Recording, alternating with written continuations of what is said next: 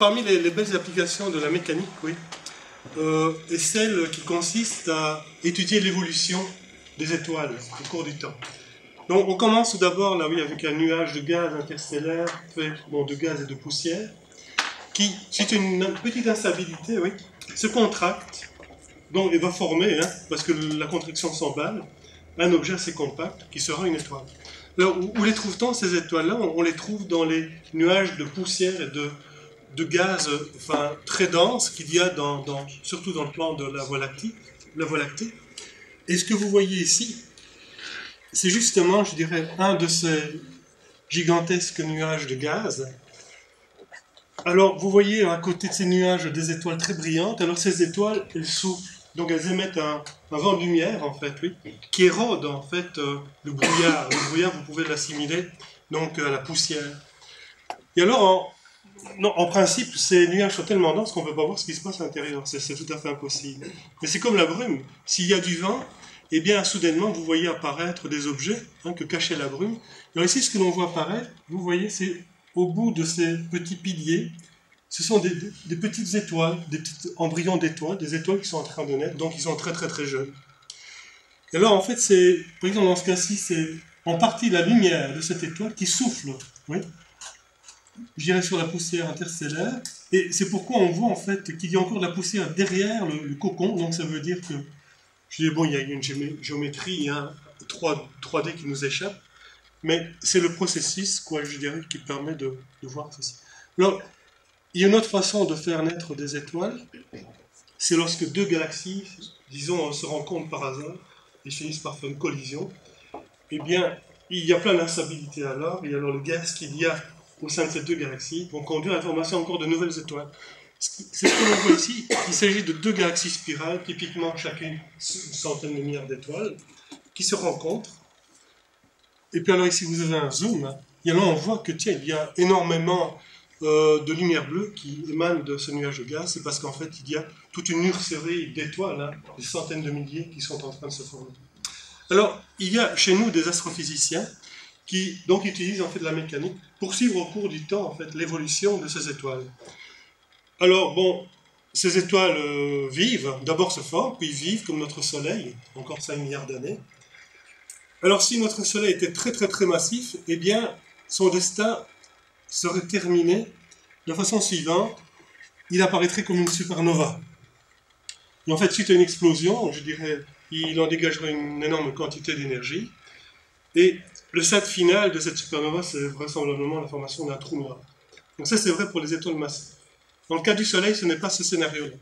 Dans le cas du, Soleil, ce sera l'éjection de matière sous la forme d'une nébuleuse planétaire.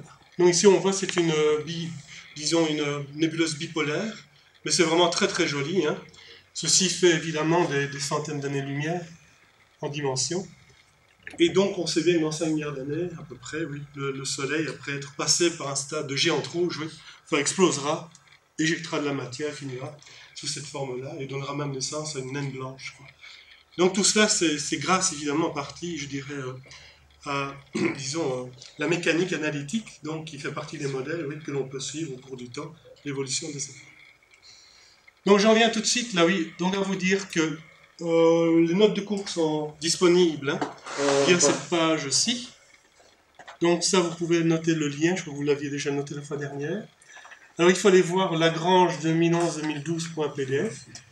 Donc c'est une version qui change légèrement de la, version de l'année dernière, parce que bon, j'ai apporté quelques petites modifications ci et là, mais qu'on a vu au cours, je dirais, c'était sur le tableau. Alors aussi via cette page, vous pouvez accéder en fait à toutes les dias que je suis en train de projeter hein, au jour le jour. Donc par exemple, le premier cours c'était cours MECA 1, 15 septembre 2011.pdf. Et puis lorsque vous tombez sur ce lien-là, il y a un autre lien qui, qui vous mène là, oui, disons, euh, à la séquence vidéo, oui, sous forme euh, d'un fichier .mov ou, ou autre, proche de MP4. Et donc, ceci permet, là, oui, à certains qui, peuvent avoir des difficultés au départ, hein, peut-être de révisionner euh, certains de ces cours-là. Ok. Alors, la fois dernière, oui, nous avions commencé, disons, euh, les applications des, des, équations de Lagrange. Alors, vous vous rappelez, dans tout problème, on choisit d'abord un ensemble, on identifie le nombre de degrés de liberté, puis on, on identifie euh, l'ensemble des f coordonnées généralisées qui permettent de représenter ce système mécanique.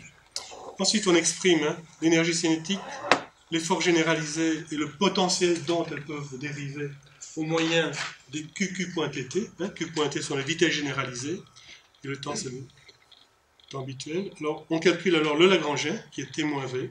On écrit alors les équations de Lagrange, et puis on résout le problème. Alors, voici les équations de Lagrange dans leur première forme. Oui, donc, euh, c'est une équation ici euh, qui fait intervenir l'énergie cinétique, l'effort généralisé. Et si jamais ces forces généralisées dérivent d'un potentiel au sens généralisé, eh bien, alors, il en, résulte euh, cette forme-ci euh, très compacte des équations de Lagrange, où finalement, le grand L, c'est un scalaire, ce n'est plus un vecteur. Il fait intervenir l'énergie cinétique, l'énergie potentielle généralisée. Et alors, vous vous rappelez, il y a F équations différentielles d'ordre 2 dans les QI, hein, suffit de résoudre. Donc, euh, la fois dernière, j'avais vu la cuvette sphérique et puis comment on pouvait, à partir de cette application, retrouver hein, la solution du problème du pendule plan. Nous avions aussi euh, regardé le problème de la contraction. On avait commencé le problème de Lagrange-Poisson. Et aujourd'hui, normalement, je continuerai avec l'application de la particule chargée dans un champ électromagnétique. Problème dans lequel on va voir que, tiens, là, il y a un potentiel qui dérive au sens généralisé d'un V qui dépend des Q, des Q pointés aussi, et du temps T. Donc, c'est une belle application. Donc, le problème de Lagrange-Poisson, vous vous rappelez la fois dernière, donc c'était le problème de la toupie en rotation autour euh, de son axe de symétrie. Alors dans ce problème, il n'y avait qu'une seule force appliquée, c'était la force de gravité appliquée au centre de gravité de la, de la, toupie. La réaction hein, à la pointe, ben, c'est une force de liaison, d'ailleurs elle ne travaille pas, le point ne bouge pas du tout. Et ensuite on avait défini, euh, bon, on avait vu qu'il y avait 3 degrés de liberté, donc 3 coordonnées généralisées, qui dans ce cas c'était les angles de l'air. Oui. Donc je rappelle un angle de nutation, θ, un angle de précession, phi, et puis un angle de spin, psi. Donc, juste euh, lorsqu'on avait terminé, hein, disons la leçon précédente, on était arrivé à établir la forme de Lagrangien en fonction des QQ.tt. Donc, c'est-à-dire θ, phi, psi, θ pointé, phi pointé, psi pointé, et le tenter éventuellement. je vous avais dit, d'ailleurs aujourd'hui on va, on va le voir hein, immédiatement, que chaque fois qu'une coordonnée, une de ces deux f plus une coordonnée est cyclique ou ignorable, muette dans cette expression qu'on ne voit pas apparaître, oui, il va en résulter une intégrale première. Et déjà comme ça, à vue d'œil, hein, quand on regarde, on se dit, tiens, la coordonnée psi n'apparaît pas, la coordonnée phi n'apparaît pas, la coordonnée t n'apparaît pas. D'accord? ça veut dire qu'il y aura trois intégrales premières. Et ce sont ces trois intégrales premières qu'on va utiliser donc pour euh, chercher les solutions. Alors, la fois dernière aussi, j'avais établi avec vous les, expressions de ce qu'on appelle les impulsions généralisées ou les impulsions conjuguées aux coordonnées généralisées. Hein. C'était les Pθ, Pφ, Pψ.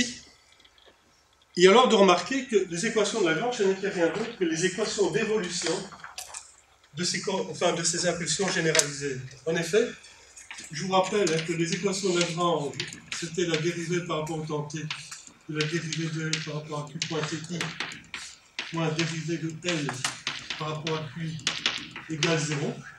Bon, ayant défini petit pi hein, comme étant la dérivée de L par rapport à Q point Ti, il en résulte que l'équation de Lagrange peut être réécrite hein, sous la forme de la dérivée par rapport au temps t de l'impulsion généralisée associée à la coordonnée généralisée i égale tout simplement la dérivée de L par rapport à Q.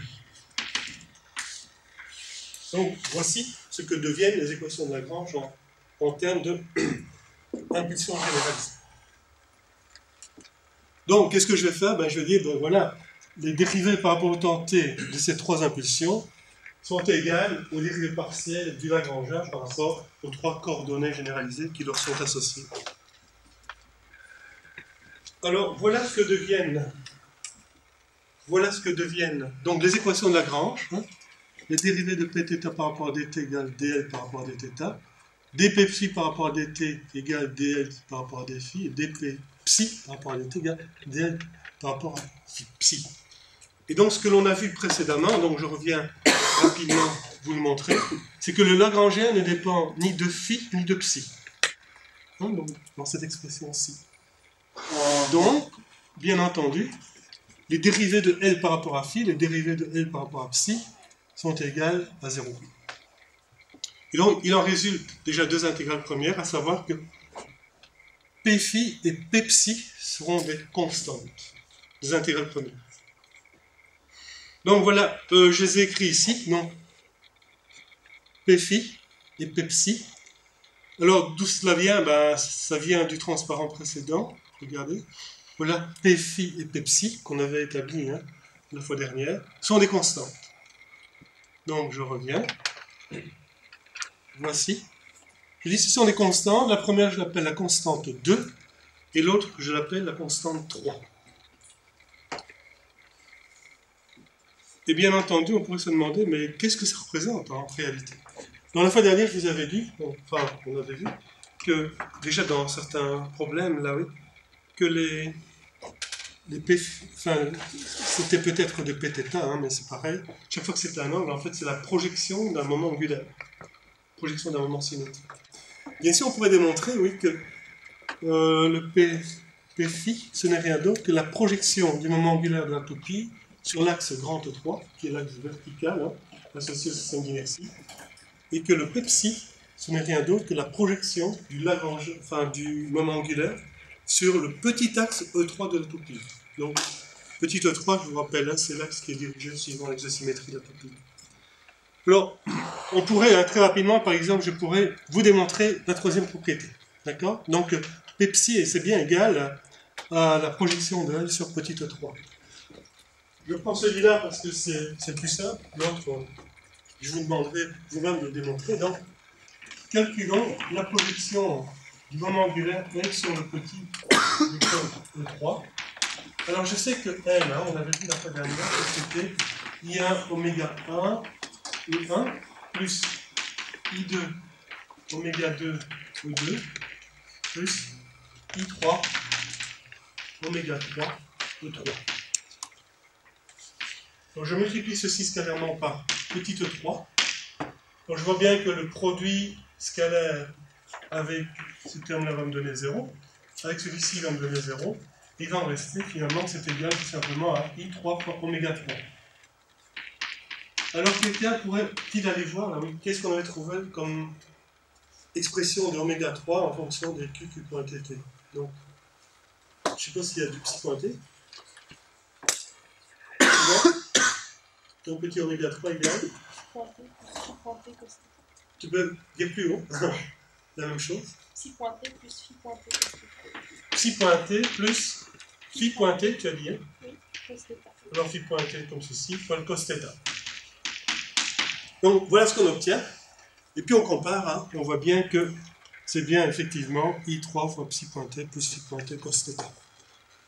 Et de même, l'autre, hein, vous pourriez euh, faire exactement de la même façon il faut exprimer E3 en fonction de petit E1, petit E2, petit E3. Et puis on arriverait aussi à démontrer que, effectivement, ce n'est rien d'autre que la projection du moment angulaire sur 3. Donc, on va utiliser ces deux, ces deux euh, résultats. Alors, je vais peut-être, euh, disons, les mettre euh, sur ce tableau, parce que je vais repartir d'eux dans un instant. Donc, c'est I1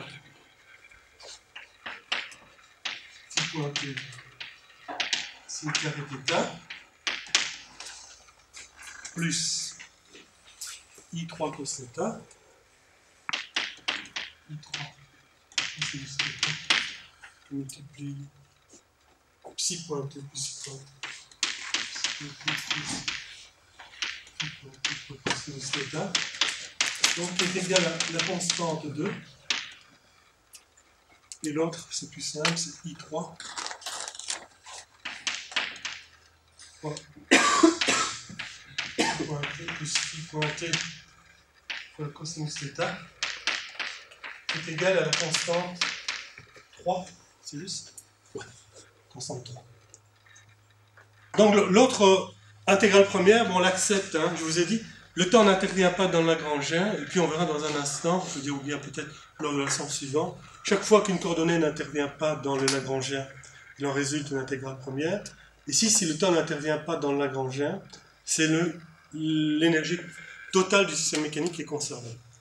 Ça, vous le saviez déjà de, enfin, des leçons de l'année dernière, hein, que chaque fois que, je dirais, vous avez une force qui dérive d'un potentiel, et puis euh, votre système est isolé, bon, il en résulte l'intégrale, hein, première t plus v bien une constante. Je vais appeler numéro 1. Alors le t plus v, c'est quoi? Eh bien, pour retrouver son expression, je viens reprendre l'équation du Lagrangien, que je vois là, et je dis euh, l'énergie totale, c'est T plus V, pas moins V. D'accord? Donc je recopie hein, cette ligne-là, et simplement en remplaçant un moins par un plus, si bien que l'expression va devenir, donc c'est un demi, je multiplie donc grand crochet, et 1, multiplié par point t carré plus 6 point t carré fois cos carré θ, c'est juste ici, non, plus sin carré θ. Donc ici. Sin carré θ. Ensuite, plus I3 multiplié donc c'est psi pointé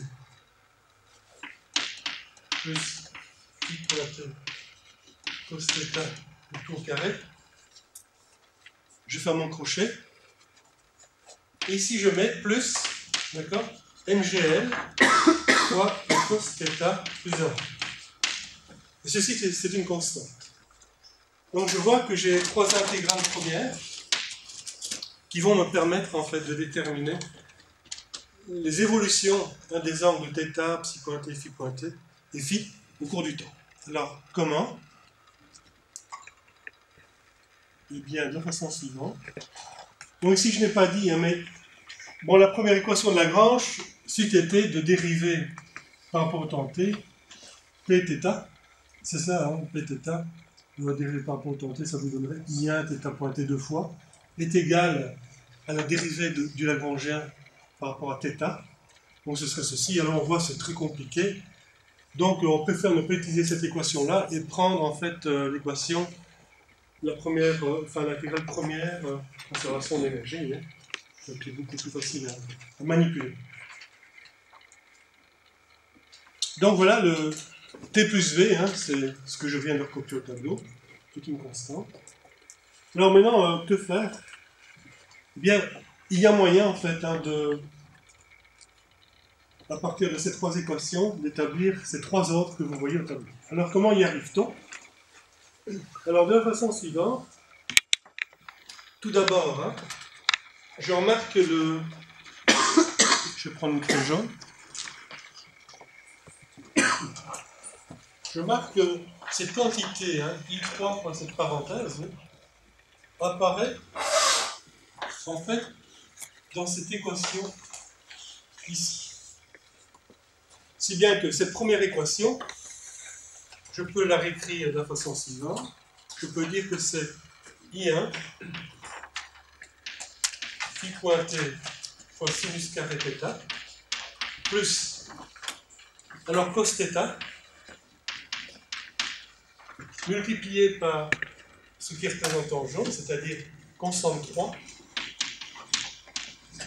égale à la constante 2. D'accord? Alors à partir d'ici, que fais-je? Eh bien, je peux exprimer le phi pointé, donc le phi pointé, en fonction de θ. Donc je dis phi pointé, c'est égal à quoi? Eh bien, c'est la constante 2 moins cos θ fois la constante 3 divisé par I1 sinus carré θ. D'accord? Donc ça, c'est le phi pointé. C'est ce résultat-ci. Maintenant, ce que je pourrais faire, oui, je peux encore le faire, hein, c'est pas un gros effort, c'est reprendre maintenant l'expression, donc je vais reprendre une autre couleur. C'est reprendre l'expression que je viens d'obtenir phi pointé, et c'est d'aller le remettre dans cette équation-ci, en vue d'expliciter, disons, la quantité psi pointée en fonction de θ. Alors je vais peut-être le faire euh, sur notre tableau. Euh, si je le fais là-bas, vous n'allez plus rien voir. Bon, je peux le faire directement ici. hein. Donc je vais trouver que psi pointé sera égal à quoi Eh bien, sera égal tout d'abord à la constante 3 divisée par I3. Donc ce sera la constante 3 divisé par I3. Puis moins phi pointé, donc moins phi pointé fois cos θ. Donc je vais mettre moins cosinus θ fois phi pointé. Le phi pointé, je viens de le, je viens de le prendre ici. Je dis ben c'est cos θ qui multiplie constante 2, puis moins cos θ la constante 3 divisé par I1 sinus carré θ.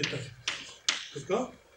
Et donc je vois que je, je suis parvenu maintenant à retrouver en fait cette expression-ci, psi pointé, essentiellement en fonction de θ, étant donné que j'ai remplacé ce phi pointé là hein, par cette quantité-ci. Donc, je suis parvenu à expliquer, euh, à exprimer, pardon, phi pointé en fonction de θ, psi pointé en fonction de θ. Alors finalement, ce que je fais, je considère finalement maintenant la dernière équation, qui est l'équation de conservation d'énergie, celle-ci. Donc celle-ci. Dans laquelle je viens remplacer le psi pointé en fonction de θ, au moins de cette relation-ci, le phi pointé en fonction de θ au moyen de cette autre relation, ici le psi pointé en fonction de θ, le phi pointé en fonction de θ, et puis là il me reste que du θ. Donc je suis parvenu en fait là à exprimer euh, dans, cette, euh, dans cette équation, là, il manque quelque chose, je pense. Parce que je vois, il, il y a un θ pointé qui a dû échapper. Bon, on revient en arrière. Petit moment. Oups. Donc voilà, ici dedans. Vous voyez, j'ai θ pointé carré. Donc ici, c'est pas psi pointé carré, c'est θ pointé carré. Donc, ce que je peux faire maintenant, c'est évidemment, oui, expliciter, au moyen donc, de cette première équation, euh, le θ pointé en fonction uniquement de θ. Hein On voit que c'est un, un exercice technique, hein, je veux dire, qui est vraiment trivial. hein. Et si on fait cela, ben, on trouve que l'expression de U de θ revêt cette, cette forme-là, où il n'y a que du θ, évidemment. Et que ma constante E', ben, c'est la constante E de départ moins, moins ceci. Alors, au moyen maintenant de ces trois équations, je vais, je vais pouvoir, par primitivation, hein, euh, rechercher, trouver mes solutions. Alors, comment? Donc, j'ai dit la méthode de primitivation Je vais aller là-bas au tableau et vous montrer comment, pro- à partir de la première équation, je veux pouvoir réduire θ en fonction de t. Donc, l'équation, c'est ceci. C'est donc 1 demi multiplie I1 θ pointé carré je ne vois pas l'autre, évidemment, plus, je- je- plus U de θ égale E prime. Donc, plus U de θ bien compris. Alors je ne sais pas si le, est-ce que le demi euh, précède au milieu de toute la conversation ou pas Non. Donc je dois retirer cette parenthèse. Donc euh, c'est très bien ici. Alors regardez, qu'est-ce que je fais hein Je vais dire d'abord, θ sera égal à quoi? Ce sera égal à E' moins U de θ, comme ceci. Ensuite, je vais multiplier ceci par 2. Je vais diviser par I1 et puis je prends la racine carrée, je vais dire, ben, c'est plus ou moins.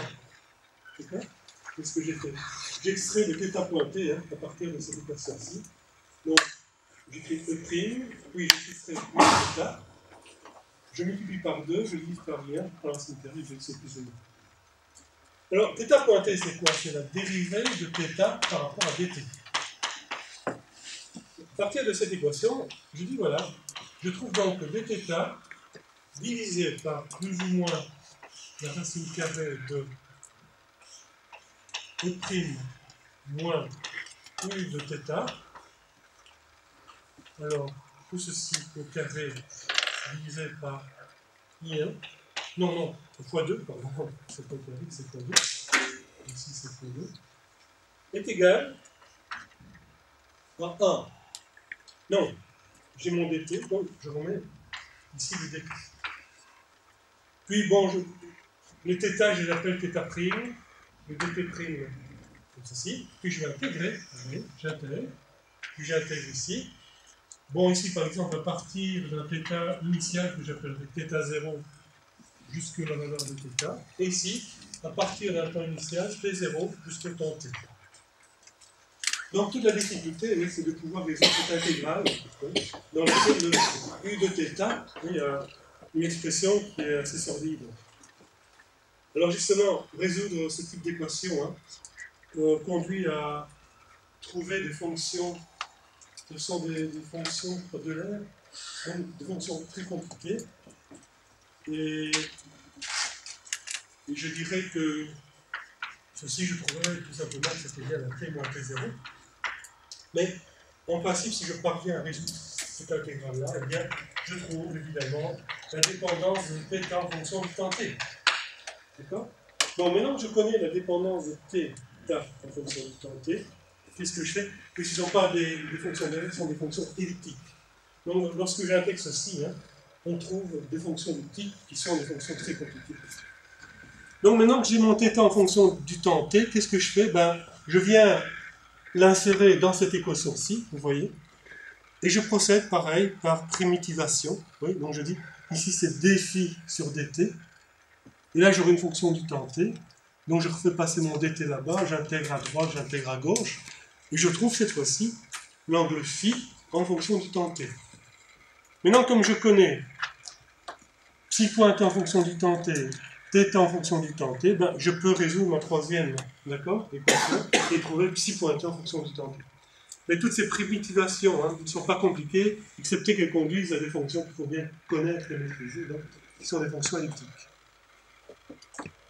Alors, parmi toutes ces, ces, solutions, hein, il y a déjà une solution euh, assez triviale que l'on peut directement découvrir au moins de ces équations-là.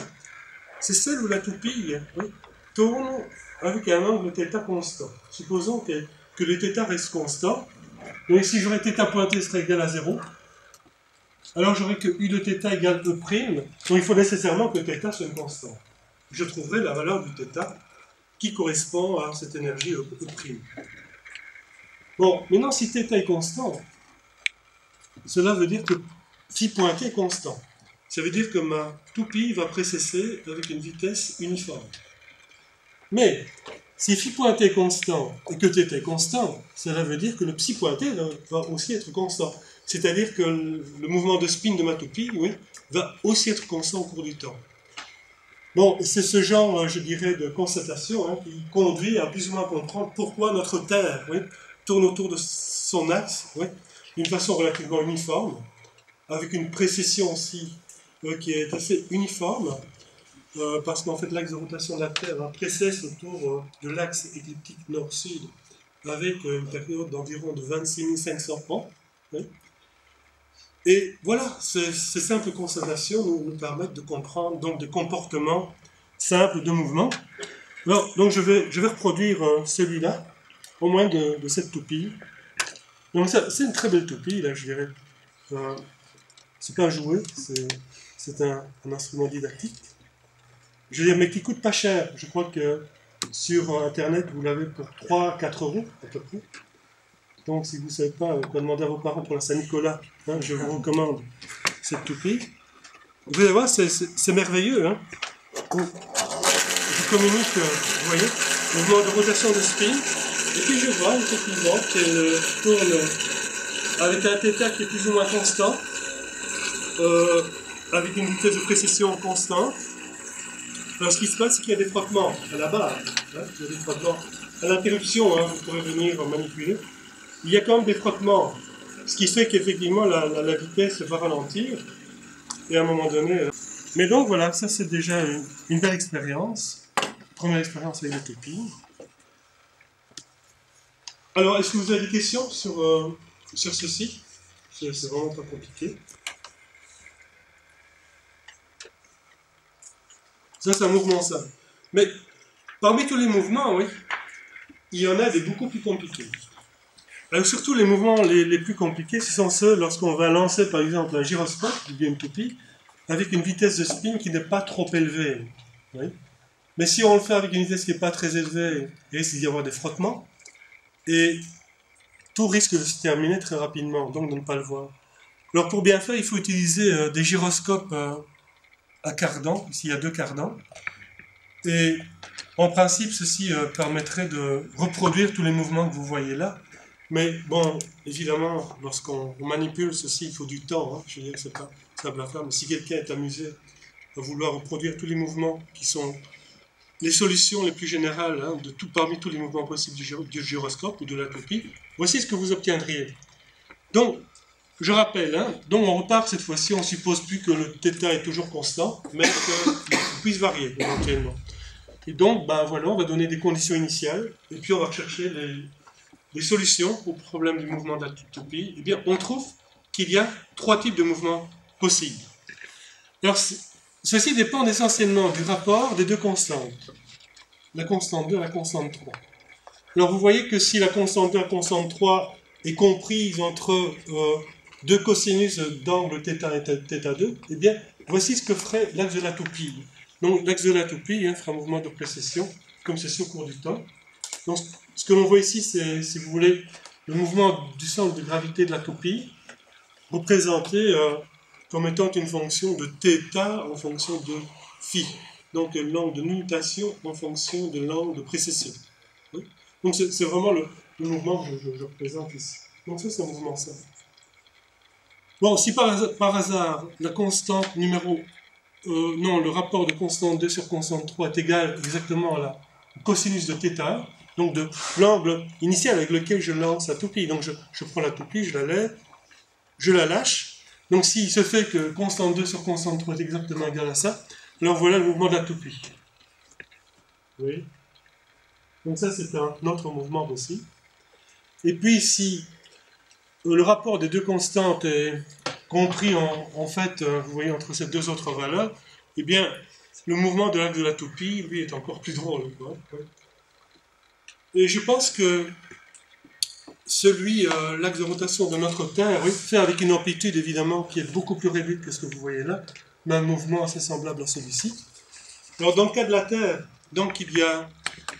C'est quoi la force, disons le moment de force qui agit sur la Terre Oui, eh bien, c'est en fait la présence du Soleil et de la Lune, et principalement de la Lune. Donc l'effet induit par la Lune est deux fois plus, élevé que l'effet induit par le Soleil, et cause donc un axe de rotation de notre Terre, oui, d'une petite mutation, enfin, et puis d'une précession, bien entendu. Et là, la précession, ça dure 26 500 ans. Donc c'est extrêmement, extrêmement lent, bien entendu.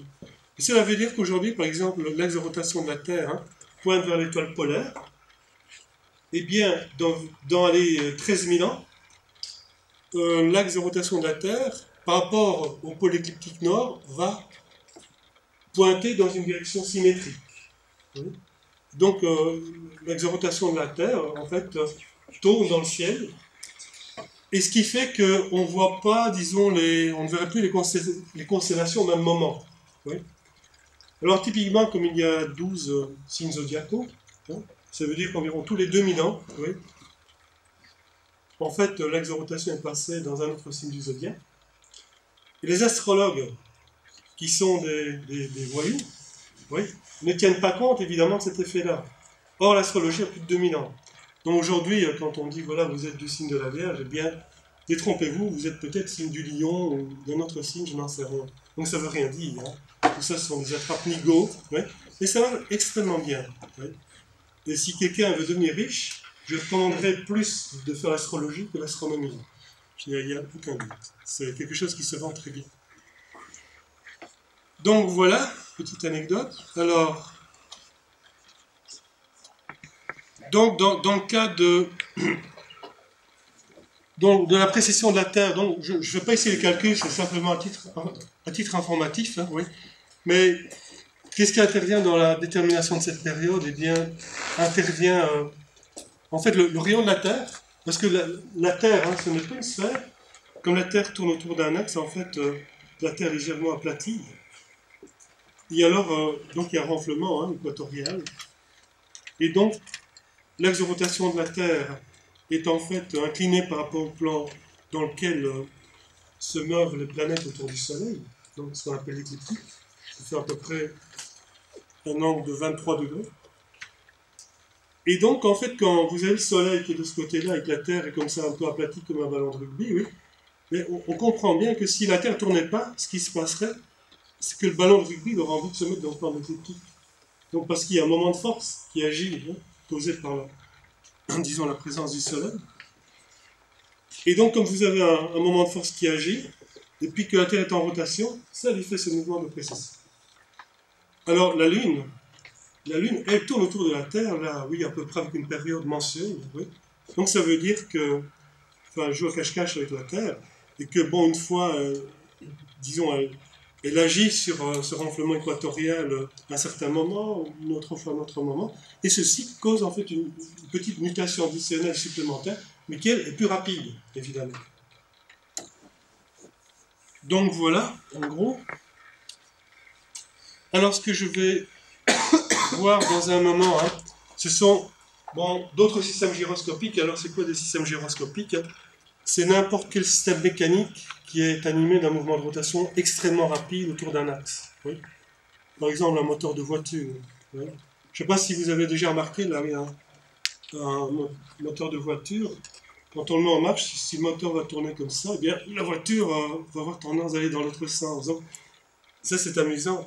Euh, si vous prenez une alliance, et puis euh, vous, vous, la faites tourner, là, je dirais, autour d'un axe, eh bien, ça, c'est un gyroscope. Et là, donc, tout, tout, tout, ce qui tourne très rapidement oui, peut être appelé un gyroscope et présente euh, donc le phénomène que j'ai mentionné, l'effet de précession gyroscopique. Donc ça, c'est quelque chose, je dirais, d'inné à tout système en, rotation. Mais il y a aussi, après, ce que je vais appeler l'inertie gyroscopique. L'inertie gyroscopique. Alors, pour vous la faire comprendre, hein, tout à l'heure, on ferait une expérience avec une roue de vélo. Et en fait, les effets, donc l'inertie gyroscopique, quoi, et je dirais euh, une sensation paradoxale. Oui. Parce que, on va voir dans, tout à l'heure. Donc, imaginons que la, roue, la roue tourne, et je dise, voilà, bon, en moyen des lacets, hein, disons, par lesquels la roue sera suspendue. Si je veux faire tourner ma roue comme ceci, dans quel sens je vais devoir tirer sur mes lacets oui. On aurait tendance à dire, je devrais aller de droite à gauche. Eh bien, pas du tout. Il faudra aller de haut en bas. Et alors, la, meilleure façon de ressentir l'inertie gyroscopique, ce sera de prendre la roue en main, la faire tourner très rapidement, et vous-même, vous allez essayer de faire tourner la roue de droite à gauche, mais alors très délicatement, hein, vous, allez, vous, allez, faire ce mouvement-là de haut en bas, et puis vous allez sentir la roue qui, qui part de droite à gauche. Tandis que si euh, vous faites euh, en avant et en arrière, vous sentir quelque chose de tout à fait différent, d'inattendu. Donc c'est tout à fait paradoxal, je dirais. Hein un gyroscope. Donc, ceci conduit à l'apparition de l'inertie gyroscopique, qui est quelque chose de tout à fait inattendu. Mais c'est très amusant. Donc, j'y reviendrai dans un moment. Mais avant d'aborder donc d'autres systèmes gyroscopiques, je vais vous parler en fait de la théorie élémentaire de la toupie. Donc ici, on a vu la, théorie au moins de, des équations de Lagrange. On peut se demander, est-ce qu'il n'y a pas une façon plus simple de bien comprendre, je dirais, euh, les mouvements de la toupie eh bien oui. Alors c'est ce que je vais faire tout de suite immédiatement. Alors ceci ne se trouve pas dans les notes, euh, la façon dont je vais le présenter au tableau. Bon, mais ce sera sur la vidéo. Donc je vais supposer une toupie qui tourne autour de son axe de symétrie extrêmement vite. D'accord? Donc c'est comme euh, ce que j'ai fait tout à l'heure, j'ai tiré avec le fil extrêmement fort. Euh, ce serait pas vrai si ma toupie tournait doucement. Alors dans ce cas-là, qu'est-ce que je peux dire? Je peux dire, bon, vous rappelez que l'expression du vecteur de rotation instantanée hein, d'un solide par rapport au système d'inertie, on l'a représenté de la façon suivante. On a dit c'était psi pointé fois petite 3 plus phi pointé fois grande 3 qui traduit euh, donc la précession, le spin, plus θ pointé, donc la mutation fois petit e dirigé suivant la d'année. Or, je dis, je suppose donc que psi pointé oui, est beaucoup plus grand par rapport à phi pointé et par rapport à θ pointé. Bon, ça veut dire donc que ceci, je peux dire euh, que c'est égal à environ hein, à psi pointé fois petit e 3. D'accord? Mais euh, l'angle de rotation, euh, le vecteur de rotation instantanée, je peux encore le représenter par c'est oméga 1 fois E1 plus oméga 2 fois E2 plus oméga 3 fois E3. Bon, mais si c'est égal à psi pointé fois E3, vu que le spin domine, j'en déduis donc que oméga est un vecteur qui peut être représenté par ses composantes oméga 1 égale 0, vu que j'ai pas de, j'ai rien du tout qui est dirigé suivant E1, rien suivant E2, et suivant E3, oméga 3, ben, ce sera psi pointé. Alors, le moment angulaire de ma copie, lui c'est un vecteur, vous vous rappelez, qui a pour composant I1 oméga 1, I2 oméga 2 et I3 oméga 3.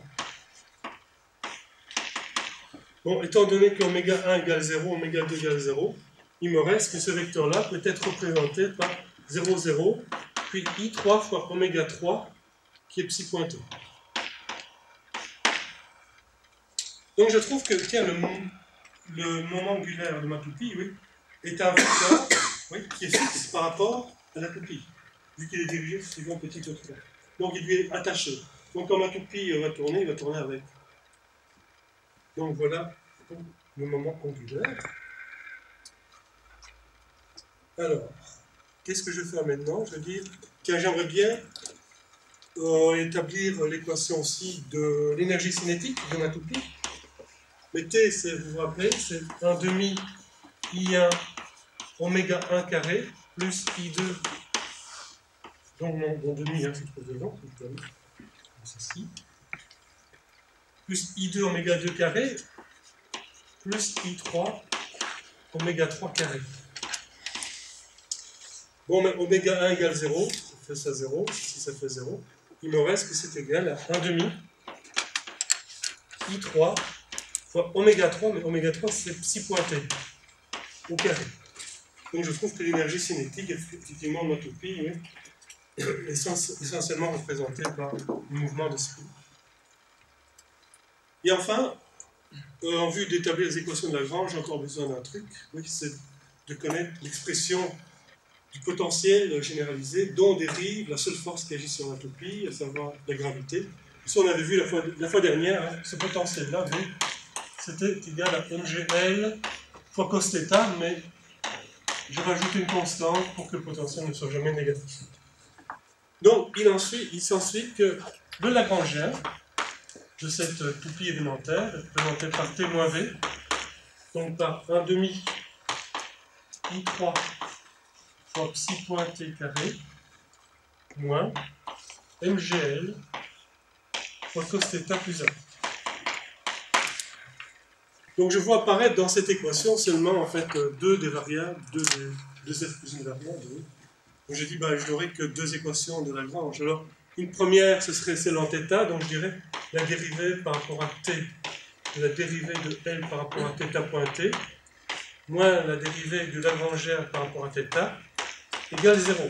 D'accord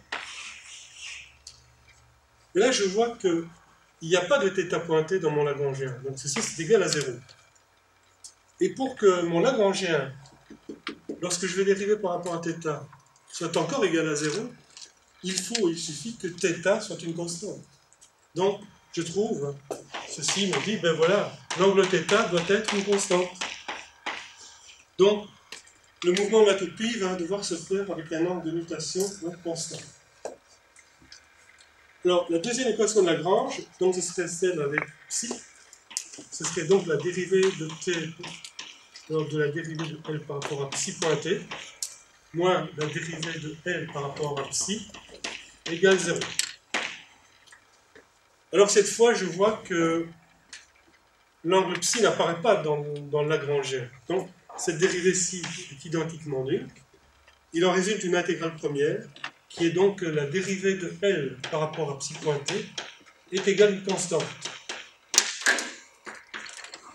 Et si je dérive le Lagrangean par rapport à psi pointé, ben, je trouve que c'est égal à I3 fois psi pointé. Donc je trouve que psi pointé est une constante. Une autre constante. hein. Donc je trouve que psi pointé est une constante prime. Comment dit Le mouvement de la toupie, il va se faire un spin avec une vitesse de spin constante. Mais comme je le sais en pratique, il y a toujours des frottements. Oui. Au bout d'un certain temps, évidemment. Euh, la toupie va arrêter de tourner à cause des. Donc voilà, je, je- je trouve déjà des choses intéressantes. Et puis si maintenant je veux, je veux savoir oui, qu'est-ce qui se passe avec, le, avec la précession, parce que là je n'ai pas d'information hein, sur la précession, on ne va pas apparaître dans le phi, mais la la précession, c'est c'est là-haut. D'accord, pas de problème. Là j'espère que le compris n'est pas cassé, parce que là-haut, oui, d'accord. Donc, euh, pour euh, déterminer hein, de l'information sur l'angle voilà comment je procède. On est d'accord que le vecteur grand L est dirigé suivant petite 3, donc il est associé à la, toupie. Donc si je dérive hein, ce vecteur-là dans le système de la toupie, c'est égal à 0. Donc c'est un vecteur constant. Maintenant, si je regarde la dérivée de ce vecteur par rapport au système d'inertie, hein, comment est-il relié à l'autre dérivée? Ben, Grâce à la formule de Poisson, je sais que la dérivée hein, d'un vecteur L, qui est constant, enfin non, qui, est défini dans le repère de la toupie, donc dans le repère relatif, c'est égal à la dérivée de L par rapport à dt, plus oméga fois L. Donc, vous vous rappelez tous de cette euh, formule de Poisson, ou pas? Vous l'avez vu avec M. Désy, hein Comment vous l'appeliez? Formule de Poisson. Donc, le L étant constant, donc euh, vu que toujours dirigé suivant petite 3 dans les axes de la toupie, ceci c'est identiquement égal à 0. D'accord Bon, mais dl par rapport à dt, euh, c'est en fait l'équation de conservation du moment angulaire. hein. Ça, ce n'est rien d'autre que le moment de la force qui agit sur la pupille. Mais le moment de la force qui agit sur la pupille, ben, c'est EC fois mg. Et maintenant, je vais considérer donc euh, l'équation représentée par cette demande, tout simplement oméga m égale à. Donc, oméga physiquement, qu'est-ce que ça représente hein? Ça représente donc le mouvement angulaire de la toupille hein, par rapport au système d'inertie. Donc, le mouvement de rotation instantanée de la toupille par rapport système d'inertie. Donc, déjà, le mouvement du vecteur L, grand L. Le mouvement de petite 3. c'est pas- Alors, L, je sais que c'est I3, psi pointé, fois petite 3. D'accord? OC, ben, je sais que c'est L fois petite 3. MG, je sais que c'est en fait moins mg grand T3. Donc voilà, je tout le tout de façon suivante. Je dis voilà, c'est oméga fois L. Alors, je vais mettre tout de suite un I3 psi pointé ici devant, fois petite 3, est égal à OC. Donc je vais dire petit L fois petite 3 fois moins. Alors, mg, je vais mettre ici petit mg, et puis fois vectoriellement grand E3. Donc, c'est ça. Puis bon, là, comme j'ai un signe moins, ben, je vais simplement changer hein, les deux termes dans le produit. Je vais dire, bon, ben, c'est tout égal, c'est I1, petit l, fois mg, fois grand E3, fois petit E3. Si je, veux avoir égalité hein, entre ces deux expressions droite et gauche, voilà. il faut il suffit que ceci soit égal à cela. Et cela, je Donc je trouve en, réalité que le vecteur de rotation instantanée de la enfin, plutôt du vecteur grand L, du du petit vecteur U3, c'est égal à quoi? C'est égal à petit l fois petit n fois petit g fois grand T3 divisé par I3 6.0. D'accord? Là, en fait, euh, la précession de ma toupie, hein, j'avais vu que c'était en fait que 6 pointé pour 23. Donc c'est ça la précession. Donc vous voyez, psi pointé, l'utilisation de psi pointé, c'est L pour N fois G sur U3 psi pointé. Le psi pointé, j'ai trouvé que c'était une constante. Ce qui veut dire que ma précession, la vitesse de précession, phi pointé, sera aussi une constante. Et donnée par le produit de petit L et petit L fois l'accélération. Vous êtes dans U3 psi pointé. Donc notamment, je vois que plus je vais faire tourner ma, toupie rapidement sur son axe, hein, et bien plus lentement va être la précession. Donc si je ne fais pas tourner très vite, moi elle va avoir tendance à précesser très rapidement. Et si je fais tourner extrêmement vite, alors l'angle de précession va être majestueux, hein, va se faire lentement. Donc je crois que j'ai ici une toupie hein, parmi dans ma collection. C'est une euh, toupie indienne, oui. Où je vois que, en fait, je peux la faire tourner très rapidement celle-ci. Ça, c'est déjà une chose. Donc le psi pointé peut être très très grand. Et le L, donc est la distance entre O et le centre de gravité, est extrêmement petit hein, par rapport au reste. Donc ça veut dire qu'effectivement, je pourrais euh, trouver avec cette toupie une précession, appréciable. hein. Donc je vais essayer hein, ici de... Bon, tout le monde ne va pas voir, mais à l'interruption, vous pouvez venir vous amuser. Donc j'ai fait tourner, je sais. Oups, non. Et puis, voilà. Donc, vous voyez la, la, la précession, quoi. c'est belle. Non, j'ai essayé de la faire tourner encore plus vite, et puis... euh, Non, c'est pas évident, je veux dire. Non.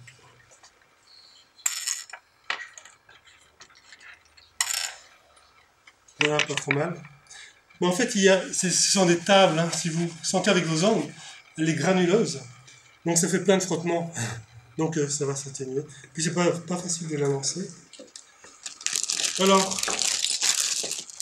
bon, ceci c'est pas trop mal non plus comme toupie. Ça, je peux la faire tourner très rapidement parce que vous voyez, j'ai. Bon, coincé là. Ici, je pas perturbe là. Ouf. Comme une souris. Elle est partie. Oui, c'est très bien de. Oui, il y, a- y y de très beaux modèles de toupies. Ça, je crois que je peux la faire tourner très vite aussi. Bon, ben je vois, oui, au, dé- au début, elle avait une belle précession.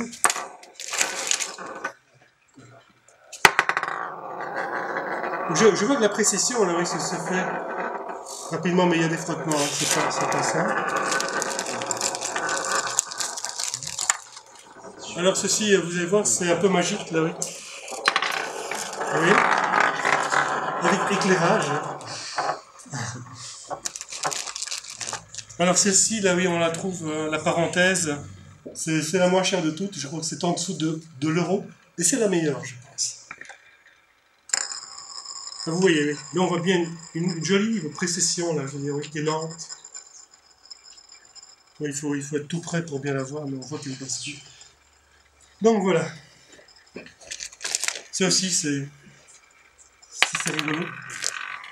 Ça marche toujours, je- même un enfant peut la faire, tourner entre les doigts. Très bien. Bon. Maintenant, là, oui. Donc, théorie élémentaire de la toupie, vous avez des questions ou pas? Non. Donc, on a commencé le cours une heure et demie, donc je vais encore continuer un tout petit peu avant de faire la pause. Des, des autres systèmes gyroscopiques? Donc je reviens sur ce tableau-là.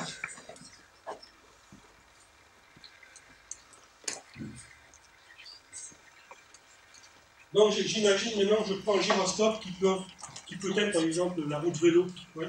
Donc c'est plus nécessairement la toupie. Alors tout ce que j'écris ici euh, reste valable, que, comme c'est plus la toupie, bon, vais pouvoir exercer des forces, même physiques, comme Donc je dis ceci, en réalité, c'est égal au moment de force, du couple de force qui agit sur gyroscope.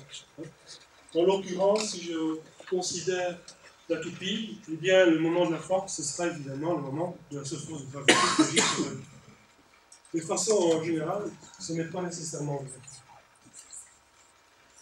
Alors, moi je rappelle la, découverte hein, de, de l'inertie gyroscopique, là, dont je vous parler maintenant. J'ai découvert par hasard, quand j'avais, euh, je crois, environ 8 ans. Alors, c'était pas mal quand on était, on s'ennuyait. Alors, avec tous les copains du coin, on allait sur nos vélos, et puis on faisait beaucoup de vélo, que du vélo. On va faire que ça.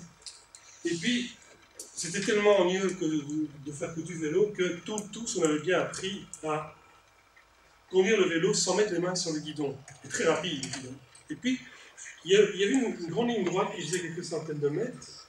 Euh, malheureusement, au centre de la ligne droite, il y avait une petite place. Et alors, bien sûr, quand on est arrivé près de la place, on, reprenait son guidon, on évitait la place, on continuait. Et puis on s'est dit, mais c'est idiot de mettre ses mains sur le guidon, est-ce qu'il n'y a pas moyen d'éviter la place sans mettre les mains sur le guidon? Et là, on était très fiers, le soir qu'on rentrait, on disait aux parents, tiens, vous savez, on parvient à tourner autour de la place sans mettre les mains sur le guidon. Vous êtes fous En fait, c'était l'application d'un effet euh, d'inertie gyroscopique qui, vous allez voir, en réalité, c'est vrai. Si vous prenez une roue qui tourne très très très très très très vite, et si jamais vous exercez un moment comme ceci, d'accord Moyen donc de deux forces, hein, une dirigée vers le haut vers le bas, eh bien la roue, qu'est-ce qu'elle va faire? Elle va tourner. Bon, on va essayer de démontrer cet exemple, partir de, cette formule-là, pour bien comprendre, là oui, tout d'abord physiquement, et puis on va faire l'expérience avec deux étudiants. Donc c'est paradoxal en fait. Parce que bon, on pourrait s'attendre, si on penche le vélo, à ce qu'il continue en ligne droite, il n'y a pas de raison que ça retourne. Même du contraire, je dirais, c'est pas, pas évident du tout. Or c'est exactement ce qui se passe. Si vous êtes sur le vélo, vous ne tenez pas, et vous vous penchez, mais vous pris, parce qu'il faut que le moment de spin soit assez, élevé, bien la roue toute seule tourner. Donc vous vous penchez un peu plus, de l'autre côté, puis vous évitez la place. Et en fait, ça marche très bien. Mais pour nous, c'était un peu magique quand on était enfant. On se dit, mais ça, ça marche, c'est génial. Pourquoi On demandait aux parents, expliquez-nous. D'abord, vous êtes fous. Et puis, il n'y a pas d'explication. Forcément. Donc, voilà le problème. Imaginons. Hein. Donc, je représente ici la route vélo, avec son centre ici. Le long devine un rayon, le rayon de la roue.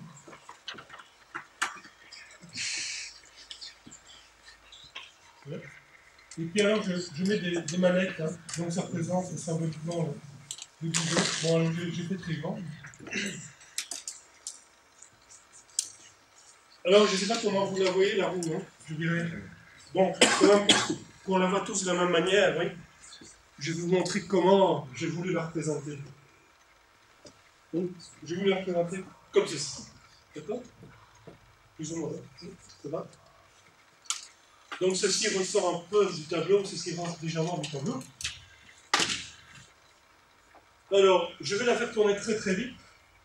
Donc, bien entendu, le moment où il est, l'esprit va être dirigé suivant l'axe de la manette. Donc, je vais tourner très très vite.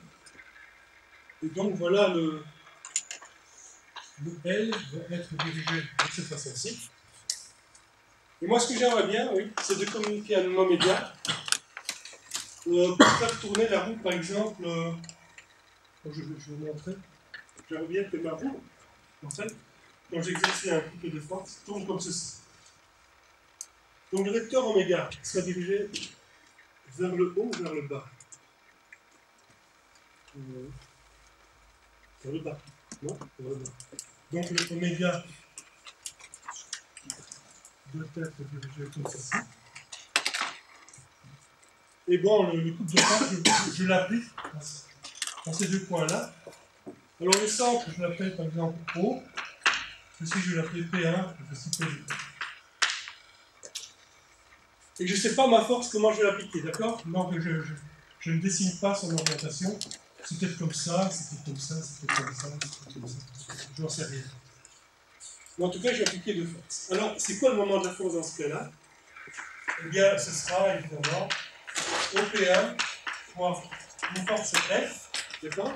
Puis ce sera plus OP2 fois. Comme j'applique un couple de forces, oui, il faut que cette deuxième force soit égale et opposée à la première. Donc je vais mettre moins F évidemment. Je vais mettre moins F.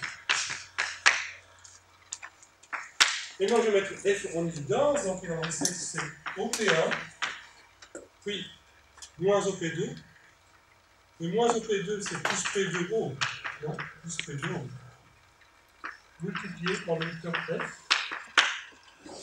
Et maintenant, si je regarde P2O plus OP1, ben, c'est P2P1. Donc ça, ce sera P2, P1, fois la. Ok. Alors, je peux réécrire hein, ceci ou bien peut-être pas. Bon, P2, P1. Très bien.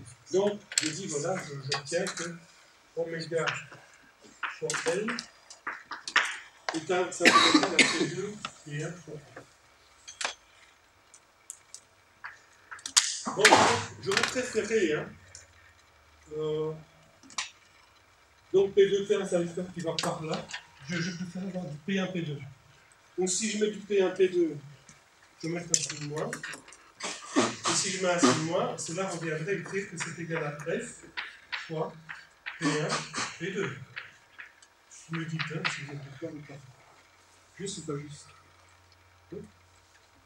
Donc, je trouve tout simplement, étant donné que L est orientée comme P1, P2, eh bien ma force F, elle doit être orientée comme oméga. Donc, c'est-à-dire en OP1, j'applique F, ça doit être orienté comme oméga, donc je dois ici appliquer tout simplement une force qui est parallèle à oméga, ce sera ma force F, l'autre c'est moins F, donc la voici. Donc vous voyez, si vous êtes sur le vélo, et vous voulez donc euh, Tiens, ça me semble peu trop Donc le vecteur oméga, euh, j'ai dit je voulais le faire tourner comment? J'ai oublié. S'il va vers le bas là, oui. Si l'oméga va vers le bas, donc ça sera le Oui, c'est ça. Donc ma roue, euh, elle tourne comme ceci. Juste. Donc elle tourne comme ceci. Moi je, vous savez, je le dis, me pencher de côté. Donc je trouve qu'il y a aussi, euh, aussi une c'est pas juste. Donc, revoyons s'il n'y a plus une erreur. Donc, quelqu'un voit un problème aussi. Donc, on a que oméga fois L est égal à OP1 fois F plus OP2 fois moins F. Donc, je, décide que j'applique en P1 le vecteur. Donc, j'ai OP1 plus P2 fois F, c'est quoi Alors ici, ça me fait bien du P2 P1 fois F. C'est peut-être ici que j'ai fait une erreur dans ce passé. Donc, ceci, je peux dire que c'est égal à, moins P1, P2 pour F. Et puis j'inverse, ça fait du F fois P1, P2. Donc, le moment cinétique, L, ah oui, ceci dépend. Oui, voilà, c'est ça le problème. Exact.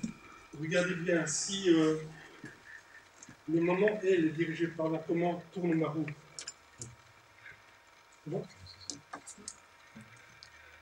Donc, elle sort du tableau.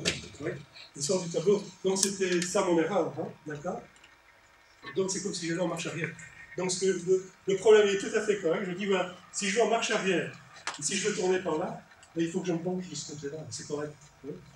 Donc ce que j'aurais dû faire, bon, c'est dire, voilà, tiens, je prends un moment L diriger de l'autre côté pour que ma roue aille devant. Et, voilà. Donc, on, voit qu'on comprend qu'effectivement, c'est bien un mouvement hein, de haut en bas qu'on doit appliquer roue. Donc, maintenant, j'appelle euh, deux forces gaillardes. Alors, qui est-ce qui s'y sent fort ici? Les garçons, montrez votre. Virilité. Bon, attends, tu peux venir? Toi? Tu viens aussi? Viens. Voilà. Il va être fort aussi. Hein Et donc, premier exercice, là, vous allez voir, c'est pas simple.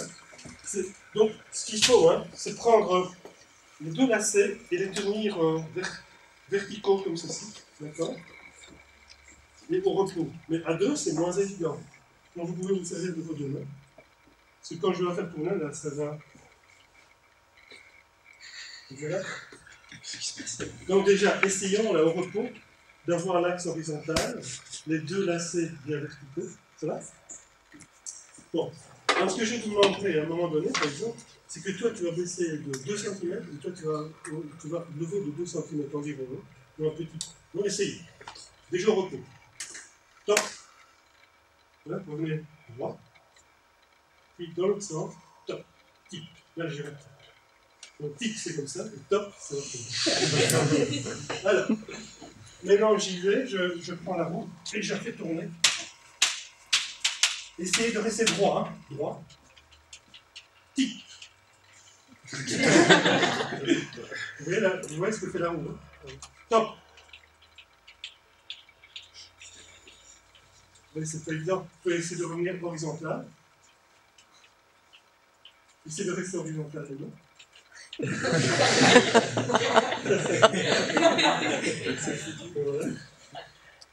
c'est pas évident hein, de faire des expériences euh, en public. Alors, on va recommencer. Je vais l'arrêter. Donc, maintenant, je vais faire tourner de l'autre côté, d'accord Dans l'autre sens. Donc là, on est plus ou moins vertical. Les, les axes bien plus là. Donc, ça, c'est bien. On va essayer de la mettre parallèle. Hein. C'est évident. Hein. Regardez, il y en a un qui. Oups. Et alors voilà. Les- l'effet gyroscopique, hein, je veux dire, c'est- assez paradoxal, oui. C'est que, tiens, simplement en, en appliquant des mouvements, hein, je dirais, euh, de haut en bas, on fait tourner la roue de droite à gauche. C'est tout à fait inattendu. Bon, maintenant, autre expérience, pour bien vous faire sentir le mouvement. Tu prends, donc, Je vais la faire tourner très vite, hein. Et puis, ce que tu vas faire, hein, mais alors, il ne faut pas faire par la force. Hein. Donc, euh, c'est vraiment comme si tu avais une pousse. Aussi légèrement que ça. Et puis ça. Donc, euh, haut, bas. Mais légèrement, hein, comme, ce que je fais là. Pas. Non. Comment ça? Et puis tu vas me dire, tu nous dis ce que tu ressens. Sens ce mouvement Ouais, c'est.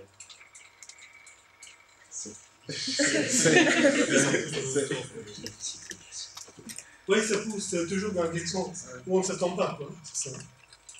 On bien en faisant ça, on se dit, eh ben non, toutes les choses se passent euh, de façon orthogonale.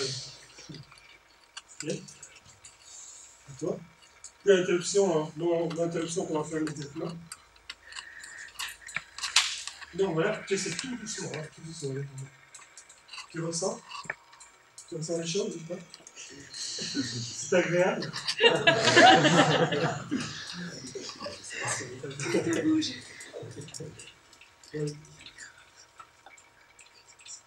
Donc imagine-toi sur un vélo. hein. Donc voilà. Et puis imagine que tu, vas te pencher tout très légèrement. Tu sens ce que fait la roue Tu tournes, hein, en. Donc voilà. Donc je peux le laisser. C'est vrai que je l'arrête. On fait la pause maintenant, n'est-ce pas? Oui. 10 minutes. Top, c'est la suivante. C'est de parvenir à fabriquer un gyroscope qui ne sera soumis à aucun moment de force. D'accord? Aucun moment de force. Non, c'est justement un, un gyroscope, là, oui, avec deux cardans. Parce qu'en fait, ici, vous voyez, je peux mettre le gyroscope dans n'importe quelle position. Eh bien, normalement, bon, j'ai mis une ficelle, mais il reste stable parce qu'il est équilibré. J'ai mis la ficelle simplement pour le lancer.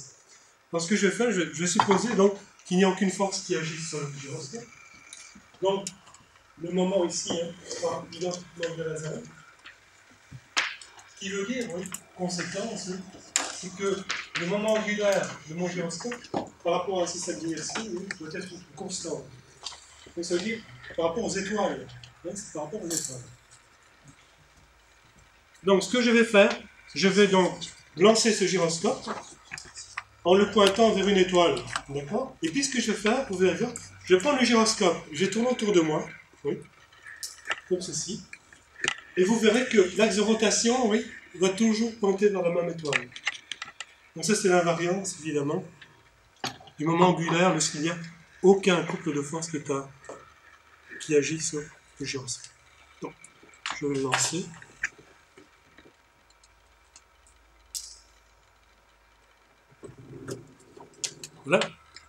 Il pointe vers cette étoile-là. Regardez bien. Il pointe toujours vers la même étoile. D'accord? Oui, je reviens au point de départ. Le gyroscope pointe toujours. Donc ça, c'est fabuleux. C'est ce qu'il y a à bord des avions. Donc ce sont des gyroscopes, je à double cardan, sur lesquels n'agit aucune force, bien entendu. Et donc, euh, ceci permet, là, oui, bon, évidemment, euh, c'est alimenté par des petits moteurs pour empêcher que, je dirais, il y ait une atténuation du mouvement de spin. Et ceci indique toujours donc au pilote là, une direction qui est fixe par rapport aux étoiles. Donc mieux qu'une boussole. Aujourd'hui, il y a des systèmes très fins, hein, gyroscopiques. Puis dans les bateaux, je veux dire, c'était aussi employé pour équilibrer le bateau. Il y avait d'énormes gyroscopes qui tournaient pour stabiliser le bateau euh, lorsqu'il y avait des grandes vagues. Donc ça a beaucoup d'applications. Donc une très belle application aussi. Euh, c'est vraiment les joueurs de bowling. Hein. Alors, ils ont des boules qui ne sont pas homogènes en fait. Il y a une distribution de masse un peu asymétrique. Et ils savent qu'en lançant leur boule d'une certaine manière, oui, bon, la boule va avoir une drôle de trajectoire qui va venir percuter les quilles et vont pouvoir la battre, enfin, la 3 ou 12, je ne sais pas comment il y en a. C'est ça. Donc voilà. Puis, rappelez-vous aussi, là, ça on, le voit souvent, ce sont les, les, courses de moto sur les circuits. On voit là les, les motos les, motocyclistes qui se penchent énormément. En fait, c'est pour communiquer un effet gyroscope à leur roue. Non, ils ne prennent pas leur, guidon comme ça, simplement ils se penchent, à droite ou à gauche. Voilà donc les belles applications du gyroscope. Euh, là, je reviens là. Donc, maintenant, on va voir, donc, euh, on va étudier la particule chargée dans un champ électromagnétique. Donc là, ce que j'ai écrit, quoi, c'est l'équation de Lorentz qui agit sur une charge de, charge E, une particule de charge E. Alors le grand E, c'est le vecteur champ électrique. V, c'est la vitesse de la particule. C'est la vitesse de la lumière. B, le champ magnétique. Alors je suppose qu'il n'y a aucune contrainte dans ce problème-ci a priori. D'accord? Donc euh, s'il n'y a pas contrainte, je prends une particule, combien de degrés de liberté? 3. Donc, qu'est-ce que je prends comme coordonnées euh, Je prends la coordonnée cartésienne Et ça, c'est la seule force active, évidemment. Alors, les équations de Maxwell, oui, me disent que la divergence du champ magnétique B égale 0, le rotationnel de E égale moins 1 sur C dB dt. Alors, à partir desquels je peux dériver que le champ électromagnétique dérive en réalité d'un champ, euh, champ vectoriel et scalaire. Alors comment le voir? Bon, vous êtes d'accord que si j'écris que B égale le rotationnel du, champ A, qui est un champ vectoriel, quand je vais prendre la divergence de B, la divergence d'un rotationnel, c'est toujours égal à 0. D'accord? Donc, c'est une des solutions, bien entendu. Alors, le champ E, lui, comment je trouve son expression qui est là ben, Je dis, voilà, je, repars de la deuxième équation de Maxwell, hein, le rotationnel de E égale moins 1 sur C dérivé de B par rapport à dt. Je viens remplacer le B ici par le rotationnel de A. Donc, rotationnel de A. Euh, mais que je dois dériver par rapport au temps t. Ensuite, je vais intervertir hein, les dérivées spatiales avec la dérivée temporelle. Donc je vais obtenir que ce serait égal au rotationnel, hein, finalement, de moins 1 sur C, de la dérivée par rapport au temps t de A. Et donc je serais tenté de dire, voilà, donc je peux écrire que le champ électrique E c'est égal à moins 1 sur C, la dérivée de A par rapport à dt. Mais je peux très bien ici ajouter, moi, le gradient d'un champ scalaire phi, où le phi ne dépend que des R et de T. De même, pour le grand A, ça ne dépend que de R et de T, pas des vitesses. Parce que quand je vais prendre le rotationnel d'un gradient, ça fait combien? Rotationnel d'un gradient Zéro. Donc, effectivement, si je prends le rotationnel de E, je trouve que c'est égal à moins le rotationnel du gradient de phi, qui est identiquement égal à 0. Et puis il va me rester moins le rotationnel de ceci. C'est ce que j'avais déjà auparavant. Donc, pas de problème avec ceci. Maintenant, voilà. Je vais particulariser la composante euh, IJK, donc composante où I vaut 1, 2 ou 3.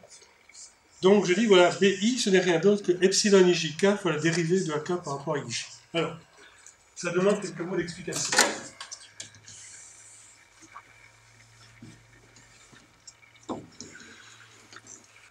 Donc, supposons tout d'abord le produit vectoriel de EI fois EJ.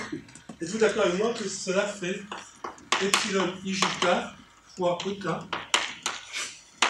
tout simplement. Donc, où ceci représente le symbole de Sophie. Vous l'avez vu. Hein? Donc, epsilon IJK hein, vaut 1. Si donc les, trois chiffres sont dans cet ordre-là, 1, 2, 3, ou bien euh,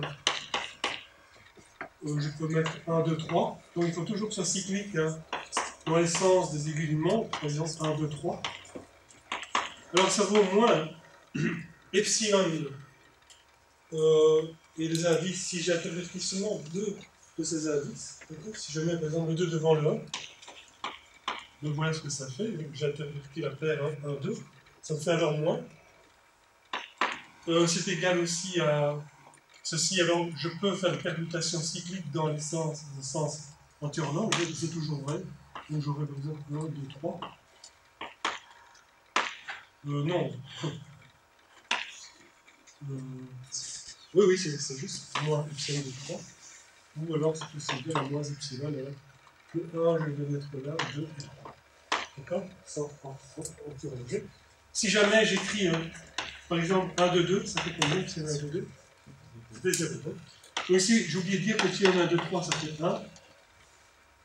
Ici, évidemment, epsilon 2 à 3, c'est moins 1, donc c'est moins, c'est quelque chose. Donc, c'est bien. Donc, ceci, pas de problème.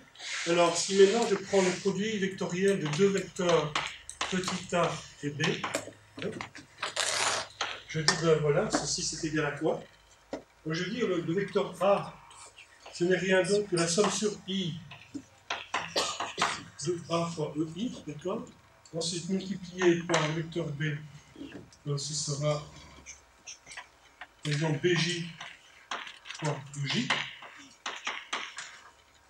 Donc je vais remettre les composants des deux vecteurs en évidence. Donc j'ai les sommes, hein, ici sur i et somme sur j.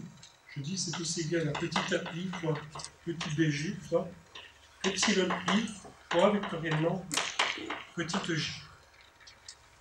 Alors maintenant, je m'intéresserai par exemple à la composante, euh, composante k, par exemple de ceci. Je me demande, tiens, qu'est-ce que cela vaut? Bah, Je prends simplement la composante k.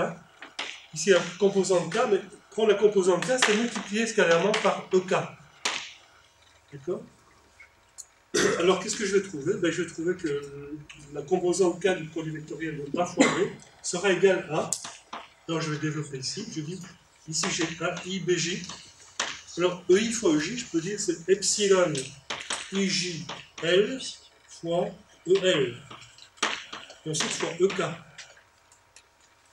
EL fois EK, on est d'accord, c'est delta KL ou delta LK.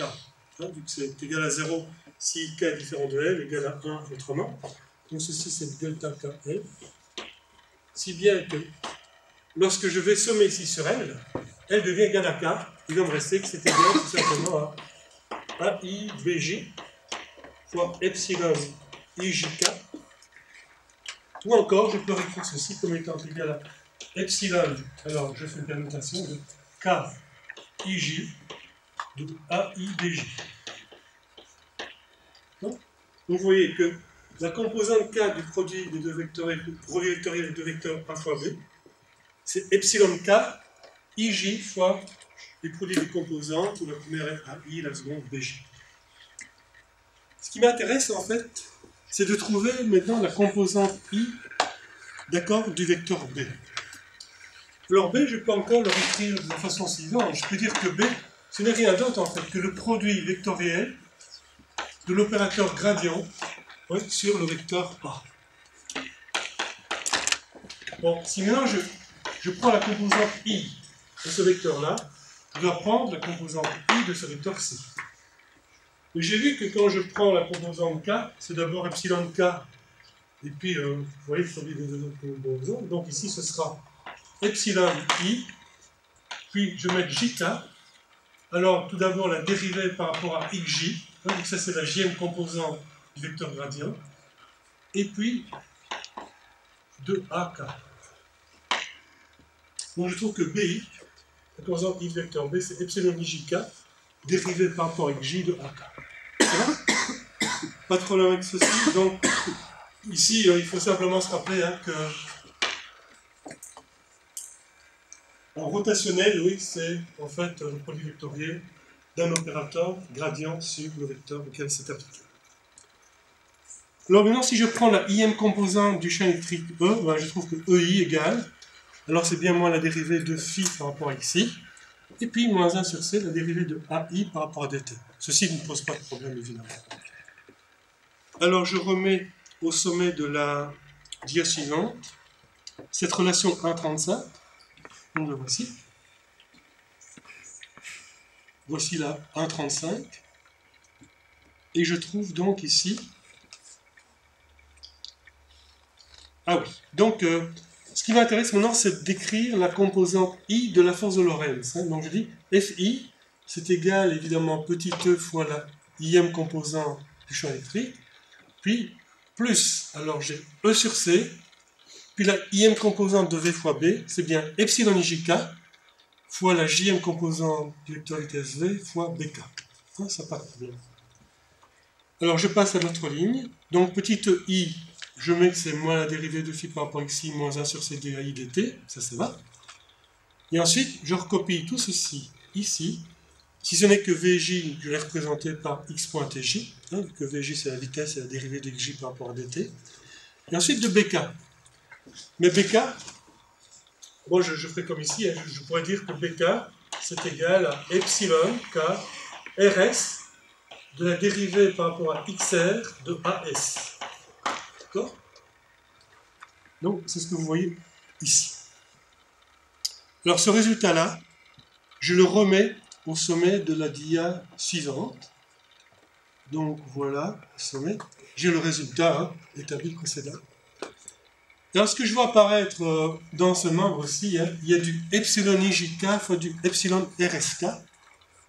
Et là, je vais établir une égalité, donc euh, qui me sera conductive, donc, à savoir que epsilon IJK fois epsilon RSK, donc j'ai une somme sur K, vous voyez, eh bien ça devient donc que le delta IR fois le delta JS le delta représente le symbole de Kronecker, moins delta IS fois delta JR.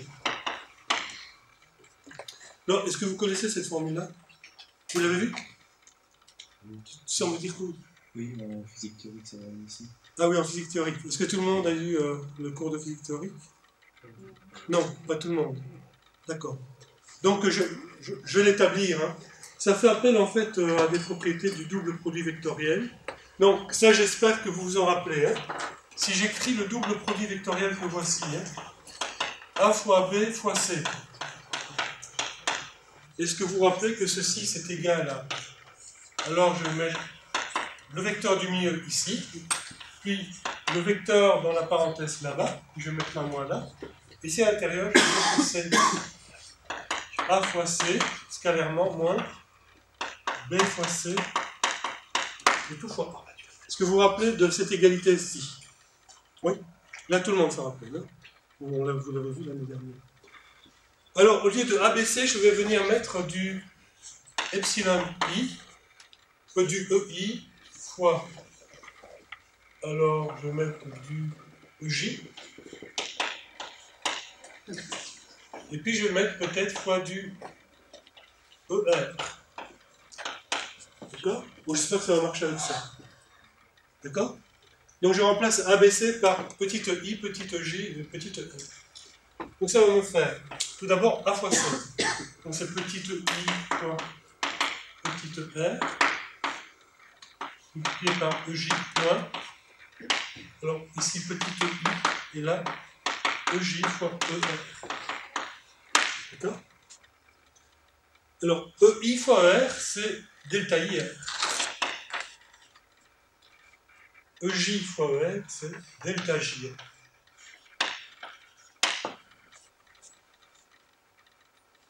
Bon, ici, EI fois EJ, oui, je peux dire que c'est égal à epsilon IJL fois EL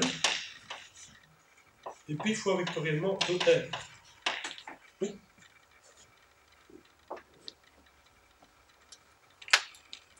Alors, EL fois ER, je peux dire que c'est epsilon.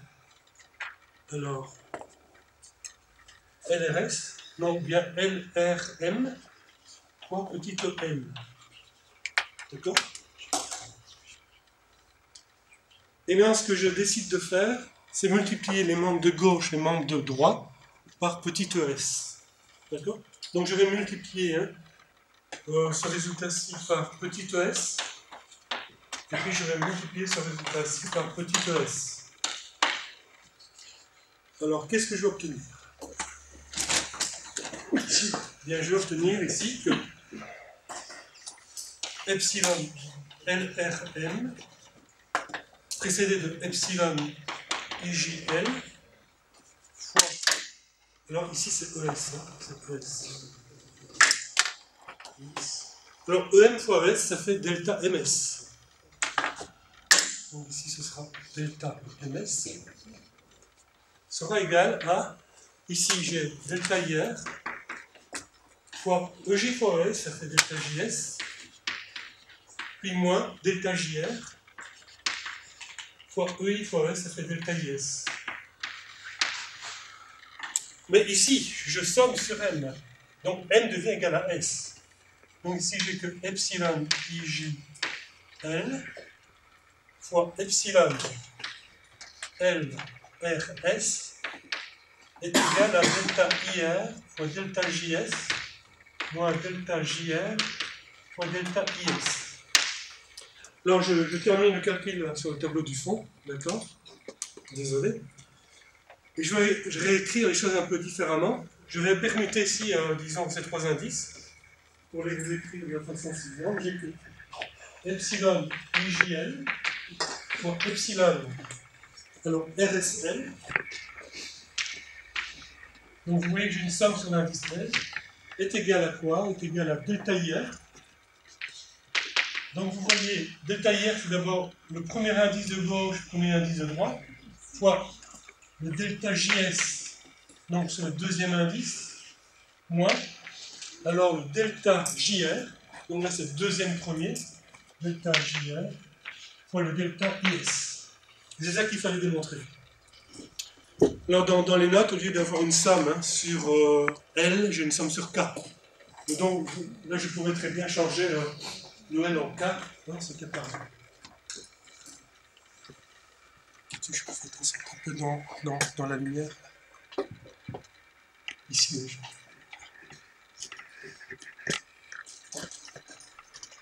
Donc voilà, ce résultat-là euh, vient d'être euh, établi.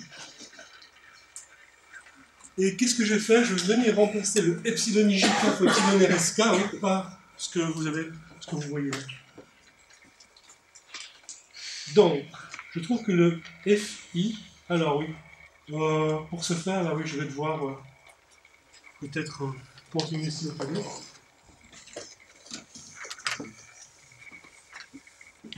Injecter le résultat là en haut à droite, ici bien. Et donc je trouve que la force de Lorentz, FI, est donc égale à. Alors le moins E défilé ici c'est trivial. Ensuite, le moins e sur c. Donc, moins e sur c, qui multiplie alors la dérivée de grand i par rapport à dt. Jusque-là, ça va. Et ensuite, je vais donc mettre donc le, le, le sur c hein, est ici. Le x.tj, je le recopie, plus x.tj. Plus x.tj multiplié par. Alors, tout d'abord, je vais avoir du delta IR fois delta JS. Mais ce qui m'intéresse, comme je, mets un signe moins ici, oui, c'est de prendre tout d'abord le delta IS fois delta JR. Donc, lorsque je vais sommer sur S, S devient I, et lorsque je somme sur R, R devient J. Donc, il va me rester. Donc, j'ai dit S devient I, donc ce sera la dérivée de AI par rapport à IJ, I. Je vais avoir, euh, disons, le delta IR delta JS, donc maintenant le R devient I et le S devient J. Donc ce sera moins la dérivée de AJ par rapport à X. Comme ceci. Puis je faire encore. Ça va? Alors je dis voilà, euh, moins la dérivée de phi par rapport à dxi, oui, je peux le réécrire de la façon suivante. En effet, mes phi ne dépendent que des vecteurs position r et du temps t. Ça ne dépend pas des vitesses. Si bien que lorsque je dérive le potentiel phi scalaire par rapport à x point ça fait 0. Donc c'est comme si j'avais ceci égale cela. Hein, ben, il n'y a, aucun problème. Mais vous voyez, j'essaie de faire apparaître, euh, disons, l'opérateur qu'on reconnaît dans les équations de Lagrange. Donc, ceci pose aucun problème. Ce qu'il faut, c'est qu'il faut que le potentiel scalaire ne dépende pas des vitesses. Autrement, je ne pourrais plus l'écrire. C'est pourquoi on a supposé dès le départ qu'il ne dépendait que des vecteurs position de la particule et du temps t. Ensuite, je dis ceci, regardez bien. Donc tout ce qui est entre le crochet ici, hein, la dérivée de AI par rapport à dt plus x point tg, etc., n'est rien d'autre que ceci appliqué au produit scalaire de A fois V. Alors comment le démontrer? Ben, Je vais essayer de le faire ici. Hein. Donc je dis voilà, j'essaie d'évaluer ce que vaut l'application de cet opérateur au produit scalaire de A fois V. Donc je dis, bon, A fois V, hein, donc c'est égal. Donc A fois V, on est d'accord. Ce n'est rien d'autre que, par exemple, euh, c'est M fois x point où j'ai sommé sur M. D'accord C'est le produit des coordonnées, quoi. Sommé sur M. Et alors j'y vais. D'abord, je vais dériver par rapport à x point i. D'accord D'abord, je vais dériver par rapport à x i.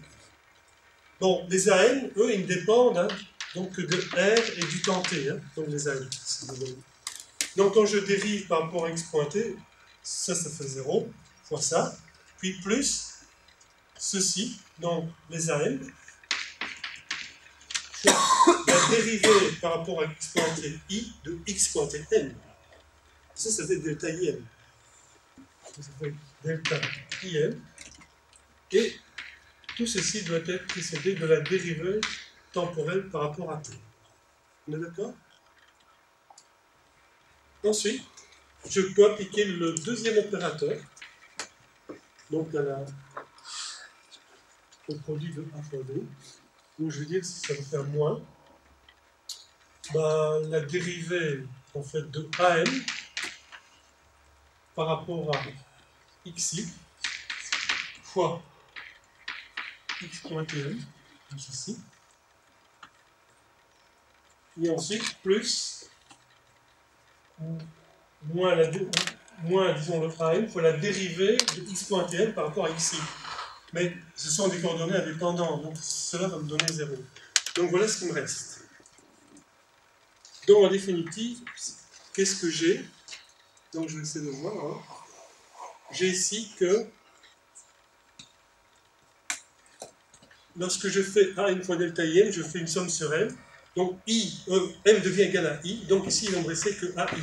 Donc je trouve qu'en fait, c'est la dérivée totale de AI moins la dérivée par rapport à xi de an fois x. Alors maintenant, ce que je fais, je vais développer, d'accord, cette quantité-ci. Là, je dis euh, tout d'abord, c'est la dérivée des AI par rapport à xn fois des x point tn, d'accord. Je dérive d'abord par rapport aux xn, puis je, dé- je dérive puis je mets plus la dérivée de AI par rapport à dt. Très bien. Puis, qu'est-ce qu'il J'ai moins la dérivée de AN par rapport à xi fois x point tn. C'est bien que je peux maintenant mettre en évidence hein, x point tn. Donc j'aurai que c'est x point tn que multiplie la dérivée de AI par rapport à xn, moins la dérivée de AN par rapport à xi, et ensuite plus la dérivée de AI par rapport à dt. Alors je vais enfin pouvoir écrire ceci, hein, pour me rabattre à ce que je vois là dans le tableau. Donc c'est égal tout d'abord à la dérivée de AI par rapport à dt, plus. Alors ici je vais dire, voilà, je ne vais pas sommer sur n, je vais sommer sur j. Donc je dis ok, ça devient x point qui multiplie la dérivée de AI par rapport à j moins la dérivée de aj par rapport à xi. Et je retrouve là, oui, ce résultat. Donc je viens bien de démontrer, oui, que tout ce qui se trouve ici entre crochets, oui, ce n'est rien d'autre que l'application de cet opérateur-ci au produit scalaire de A fois V. Donc je vais passer ici le tableau. Donc en définitive, hein, le FI, je peux l'écrire comme étant égal à quoi? Le FI c'est égal à l'opérateur euh, dérivé par rapport temps t, d'abord. C'est le dérivé par rapport temps t. Le dérivé par rapport à x point ti, moins la dérivée par rapport à xi. Alors de quoi? Donc c'est ici que je dois trouver les bonnes choses. hein. Ben, j'ai ceci fois e. Donc j'ai e fois phi. Petit e fois phi. Et ensuite j'ai moins e sur c, a fois v. Donc si je mets les fenêtres, moins e sur c de a fois v.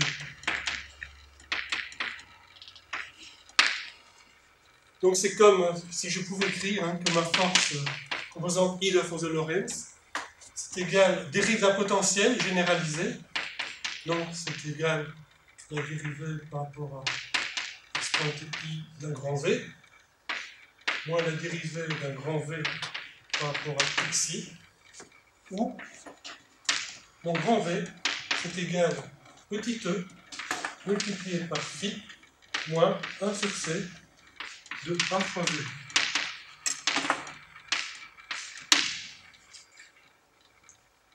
Alors je rappelle que le phi hein, ne peut dépendre que des positions et de l'instant t. Le A il dépend, donc le champ vectoriel ne dépend que des positions du temps t. Et le V, ben oui, c'est mon vecteur vitesse. C'est mon vecteur vitesse. Donc je trouve ici un potentiel qui dépend explicitement des positions, du temps t et des vitesses.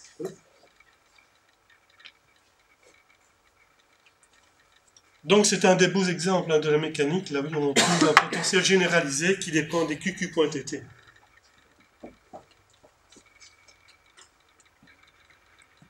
Donc voilà, c'est ce que vous avez hein, ici au.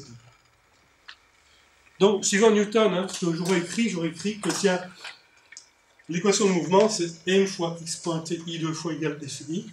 Bien suivant Lagrange, ce que je peux écrire, c'est que j'ai cette équation égal fi, mais fi, vous voyez, dérive d'un potentiel sans généraliser, si bien que je peux définir à Lagrangien, L égale t moins v, où V est le potentiel généralisé potentiel.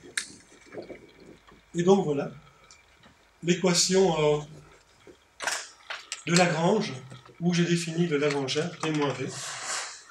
Alors bien sûr, maintenant, ce que vous pourriez faire, c'est de se dire, mais tiens, est-ce que je ne pourrais pas choisir au lieu des coordonnées euh, x, y, z, euh, d'autres coordonnées généralisées hein Eh bien oui, vous pourriez même assujettir votre particule à des contraintes, oui.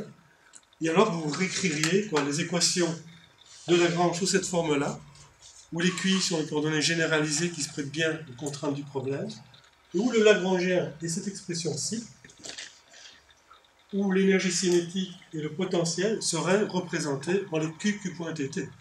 Bien sûr. Donc il faudrait expliciter les R en fonction de Q et de T, et les V en fonction de Q, Q.tt. Ah. Maintenant, oui, petit problème là. Donc là, je reviens peut-être en arrière. Je reviens en arrière. Donc, je peux me poser la question suivante. Donc, il reste 20, 20 petites minutes. Oui, je reviens en arrière. Je peux me poser la question suivante là. Là, j'ai supposé hein, que. Encore en arrière. J'ai supposé que le champ magnétique était rotationnel d'un champ vectoriel A, et puis euh, que le E dépendait aussi de ce même champ vectoriel, mais d'un champ scalaire éventuellement, donc il dérivait aussi d'un champ scalaire. On pourrait se poser la question, mais est-ce que ces potentiels scalaires et vectoriels sont déterminés de façon univoque Alors ce que l'on va voir immédiatement maintenant, c'est que ce n'est pas le cas. On peut trouver en fait une infinité euh, d'expressions pour les potentiels scalaires et vectoriels, oui, qui seraient telles que on obtienne exactement les mêmes expressions pour le champ électrique et le champ magnétique. Donc ça veut dire que ma particule oui, suivrait le même mouvement, oui, quel que soit le, champ potentiel scalaire et vectoriel que j'aurais choisi. On verra sous certaines conditions. Et ça, c'est intéressant. C'est ce qui va introduire en fait l'apparition de ce qu'on appelle les transformations de jauge. On va effectuer en fait une transformation de jauge. On va essayer de trouver euh, d'autres potentiels qui permettraient aussi d'expliquer l'équation de mouvement de cette particule dans le champ électromagnétique. Alors, comment on, procède? Ben, De la façon suivante. Donc, B, j'avais B égale rotationnel de A.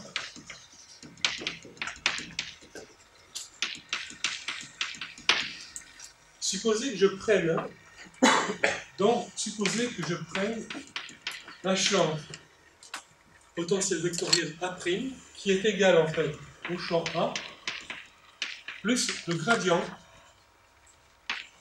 d'une fonction scalaire qui, qui ne dépend que de R et de T. Donc je prends un nouveau champ vectoriel, enfin un champ, champ vectoriel, Alors j'ai dit, ben voilà, dans ce cas-là, le nouveau champ magnétique, ce serait B', égal, bien entendu, au rotationnel de A', est égal donc au rotationnel de A plus le rotationnel du gradient de ma fonction phi. Or, le rotationnel d'un gradient, c'est égal à 0. Donc, je trouve rotationnel de A qui est bien égal à B.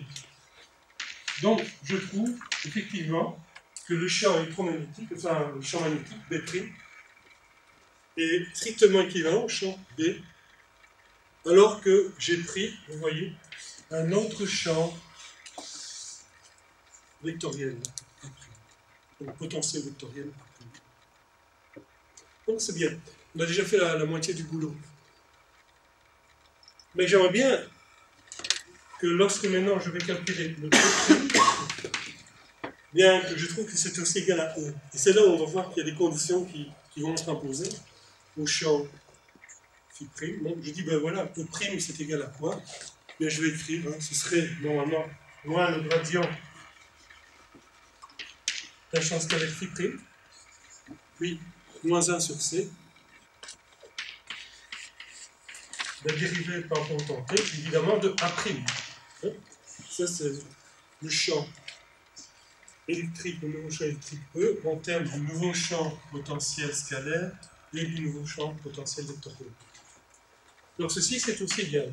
Donc je vais dire c'est moins le gradient de phi prime, moins 1 sur c, la dérivée par rapport à t de a prime, mais a prime c'est a. Puis je dis, bon, moins 1 sur c dérivé par rapport à t, gradient de qui Alors ce que je fais ici, regardez bien, je vais intervertir hein, l'ordre de dérivée. Donc ici j'ai une dérivée temporelle hein, suivie d'une dérivée spatiale. Donc je vais intervertir l'ordre. Je vais faire ressortir mon gradient. Et je peux dire que c'est égal donc à moins le gradient de phi prime. Puis je dirais ben, plus 1 sur c fois la dérivée de qui par rapport à dt, bien sûr. Et puis moins 1 sur c, la dérivée de a par rapport à dt. Et si maintenant j'impose hein, que ce, cette quantité-ci soit strictement égale à phi, bien alors je verrai que tiens, je réobtiens moins gradient de phi moins 1 sur c dA dt. Et ça, ce n'est rien d'autre que le champ électrique E. Donc vous voyez, je trouve que le phi moyennant qu'il est égal à phi, moins 1 sur c pour la dérivée de pi par rapport à dt, eh bien, conduira, disons, à la même valeur du champ électrique qu'auparavant. Donc, ma particule suivra exactement le même mouvement, alors que j'ai changé, en fait, euh, les, disons, les, les, champs scalaires euh, potentiels vectoriels. Donc, c'est amusant de savoir que, tiens, les, les potentiels scalaires vectoriels ne sont pas uniques. Bon, je reviens où j'étais.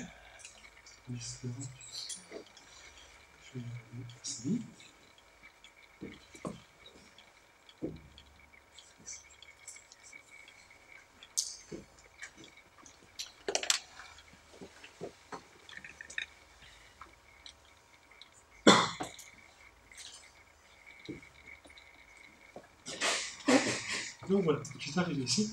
Donc j'ai trouvé que l'expression de phi prime, c'est phi moins 1 sur c dérivé de qui par rapport à dt, que a prime c'est a plus le gradient de qui dt. Et là je peux me dire, mais tiens, tout à l'heure j'ai défini un Lagrangien pour euh, le champ potentiel phi et le champ vectoriel grand A.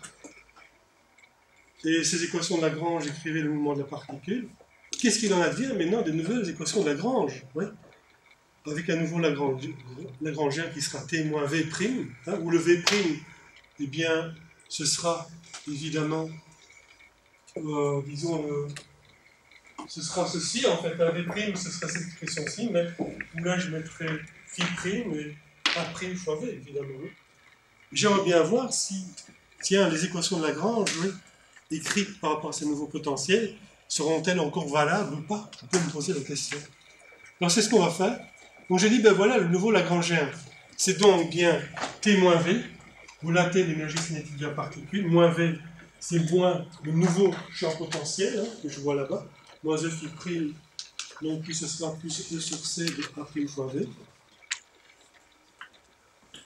Alors, donc je vais, peut-être ici sur ce tableau-ci, faire un petit détail de calcul.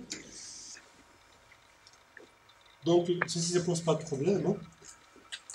Donc, je trouve que dt prime égale 1 demi mv carré. Puis, moins e phi prime. Donc, moins e phi prime, ça va me faire moins e phi. Puis, plus e sur c pour la dérivée de tout par rapport à dt. Ensuite, plus e sur c a prime fois v. Donc, plus E sur C. A prime fois V. Donc je vais d'abord A fois V. A fois V. Plus. Donc plus E sur C, A, A prime fois V. Plus E sur C. Gradient de pi fois V. Donc qu'est-ce que je reconnais ici? Eh bien, ceci, 1 demi mv carré moins e phi plus e c de a fois v, ça, ce n'est rien d'autre que le Lagrangien L. Qui suffit plus e sur c. Alors, de la dérivée de qui par rapport à dt. Ensuite, plus. Alors, ceci, hein, je vais tout simplement effectuer le produit scalaire et dire, ben, ça, c'est la dérivée de qui, par exemple, par exemple, par rapport aux xi, multiplié par les v qui sont les x pointés i. Alors, qui est-ce qui reconnaît ce que représente cette, euh, ce qui vient entre les crochets? C'est la dérivée totale par rapport au temps t. hein, De qui, tout. Ça, c'est la dérivée par rapport à t de qui? Donc, je vois, tiens, les deux Lagrangiens, là, oui, le nouveau Lagrangien, à l'ancien Lagrangien, ne diffèrent hein, que par une fonction qui est la dérivée totale par rapport au temps t d'une fonction qui dépend que des positions du temps t. Et maintenant, la question qu'on doit se poser, c'est la question suivante, c'est si j'ai les équations de Lagrange, hein, par exemple, euh, dérivée par rapport à dt de dl' par rapport à x point ti moins la dérivée par rapport à l' sur dxi égale 0, donc si j'ai ces équations de Lagrange là, supposons que elles rendent compte du mouvement de la particule, est-ce que ceci implique que je vais retrouver aussi que la dérivée par rapport à dt de la dérivée de L par rapport à x point ti moins la dérivée de L par rapport à xi est égale à 0 Question. On peut se demander, tiens, lorsque deux Lagrangiens ne diffèrent que par la dérivée totale d'une fonction qui ne dépend que des positions du temps t, est-ce que l'existence des équations de Lagrange par rapport à prime implique le fait que les mêmes équations de Lagrange sont là par rapport au Lagrangien Alors je regarde le temps qui reste, donc 8 minutes. Donc s'il avait resté 0 minutes, je vous aurais dit de faire.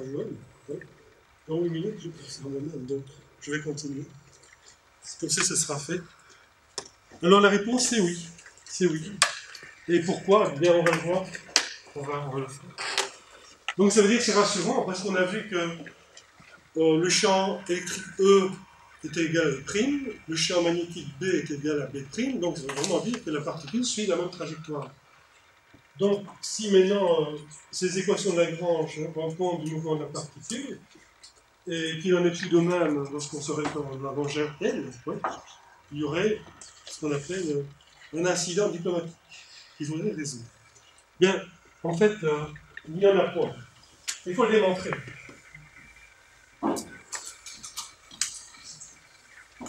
Alors voilà, comment on va le faire rapidement L' est égal à L, plus, alors ici je vais dire tout simplement une dérivée d'une fonction n par rapport à dt qui ne dépend que des q et du temps t. Donc vous voyez, je fais ça de façon tout à fait générale. Je suppose que L' et L dépendent de q, q. Donc, supposons que les équations de Lagrange soient vérifiées par rapport à L'. Donc, je sais que la dérivée par rapport au Q point TI moins la dérivée de grand L par rapport au QI est égale à 0. Comme ceci. Alors voilà, remplaçons L' par L là-dedans et voyons ce qu'il va en advenir. Donc j'aurai que la dérivée par rapport à dt de la dérivée évidemment de L par rapport à Q point TI Ensuite, plus la dérivée par rapport au t de la dérivée par rapport à q point de la dérivée grand L par rapport à dt. Êtes d'accord hein? Ensuite, moins la dérivée de L', donc c'est moins la dérivée de L par rapport à QI. Et puis je vais mettre ben, moins la dérivée par rapport à petit QI de la dérivée totale de grand L, tout simplement comme ceci, et ça je sais que c'est encore égal à 0. Donc pour pouvoir prouver hein, que ceci est encore égal à 0, il faudrait que je demande que cela est aussi égal à 0. Alors on va y aller. Donc le truc, hein, c'est évidemment de développer grand n par rapport à dt. Donc je représente ceci ici. Les dérivés de grand n par rapport à dt, qui ne dépend que de q et de t. hein. C'est égal à quoi? On a vu, hein, c'est par exemple la dérivée de m par rapport à qj, les q point plus la dérivée de grand n par rapport à dt. Alors, si maintenant je calcule, donc je vais prendre une autre couleur, l'expression, la dérivée par rapport à q point ti de ce qui est en jaune, eh bien, je vais trouver que la dérivée par rapport à q point ti de la dérivée de n par rapport à dt, c'est égal à quoi? Ça, ça ne dépend pas des Q pointés. Ceci ne dépend pas des Q pointés. Et le Q pointé, il n'apparaît que là. Donc, si je dérive par rapport à Q pointé I, euh, j'aurai la dérivée de Q pointé J par rapport à Q pointé I. Ça, ça va me faire delta IJ. Puis je vais sommer sur J, donc J devient égal à I. Donc, il va me rester tout simplement c'est la dérivée de grand N par rapport à QI. Ceci ne dépend pas de, de, Q pointé. hein. Donc, donc j'obtiens ici finalement qu'il me restera à évaluer la dérivée par rapport à dt de la dérivée partielle de grand n par rapport à petit q. Ensuite, moins la dérivée par rapport à qi de la dérivée de n par rapport à dt. Donc, la dérivée de par rapport à dt, je rappelle, c'est ce que j'ai représenté en jaune là-bas. Allons-y. Dérivons par rapport à qi, ceci. hein. Donc je dis, ben voilà, ce sera moins la dérivée par rapport à QI de la dérivée de grand N par rapport à QJ fois Q point TJ plus E moins, pardon, moins la dérivée par rapport à QI de la dérivée de M par rapport à dt.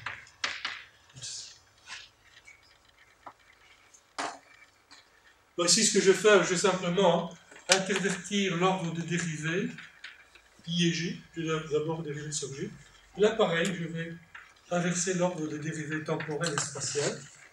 C'est bien qu'il va me rester ici en bas que ce sera moins donc la dérivée par rapport à QJ de la dérivée de N par rapport à QI fois Q point TG. Ensuite, moi, la dérivée par rapport au temps T de la dérivée de M par rapport à QI. D'accord? Alors bon, je peux laisser le signe moins là en évidence, là je remets un plus. Et quand je regarde cette expression-ci, hein, qu'est-ce que ça représente? Donc, regardez bien ici, euh, vous avez cette fonction-là qui est la même fonction qu'ici. Donc j'ai que une somme sur j de dérivée par rapport au qj fois q point tj, plus la dérivée de cette fonction par rapport au temps t. Donc qu'est-ce que ça fait ceci? Ce n'est rien d'autre en fait, ceci que la dérivée temporelle par rapport au temps t de la dérivée de m par rapport à qi. Tout simplement. Par définition. Donc je trouve que ceci c'est égal à ceci. Donc c'est bien égal à 0. Donc je trouve que lorsque les équations de Lagrange sont justifiées pour un Lagrangien L' qui ne diffère d'un Lagrangien L que par une dérivée totale d'une fonction qui ne dépend que de Q et de T, eh bien, j'en déduis automatiquement l'existence des équations de Lagrange pour l'autre fonction grand L qui est le Lagrangien.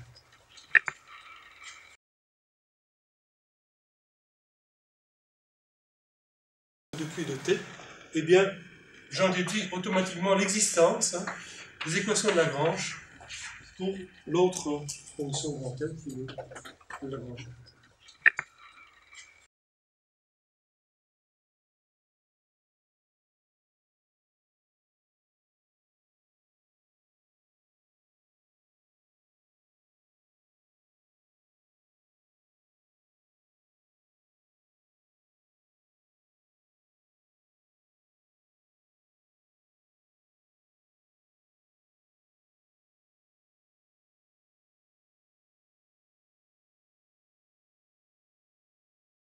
Parmi les, les belles applications de la mécanique,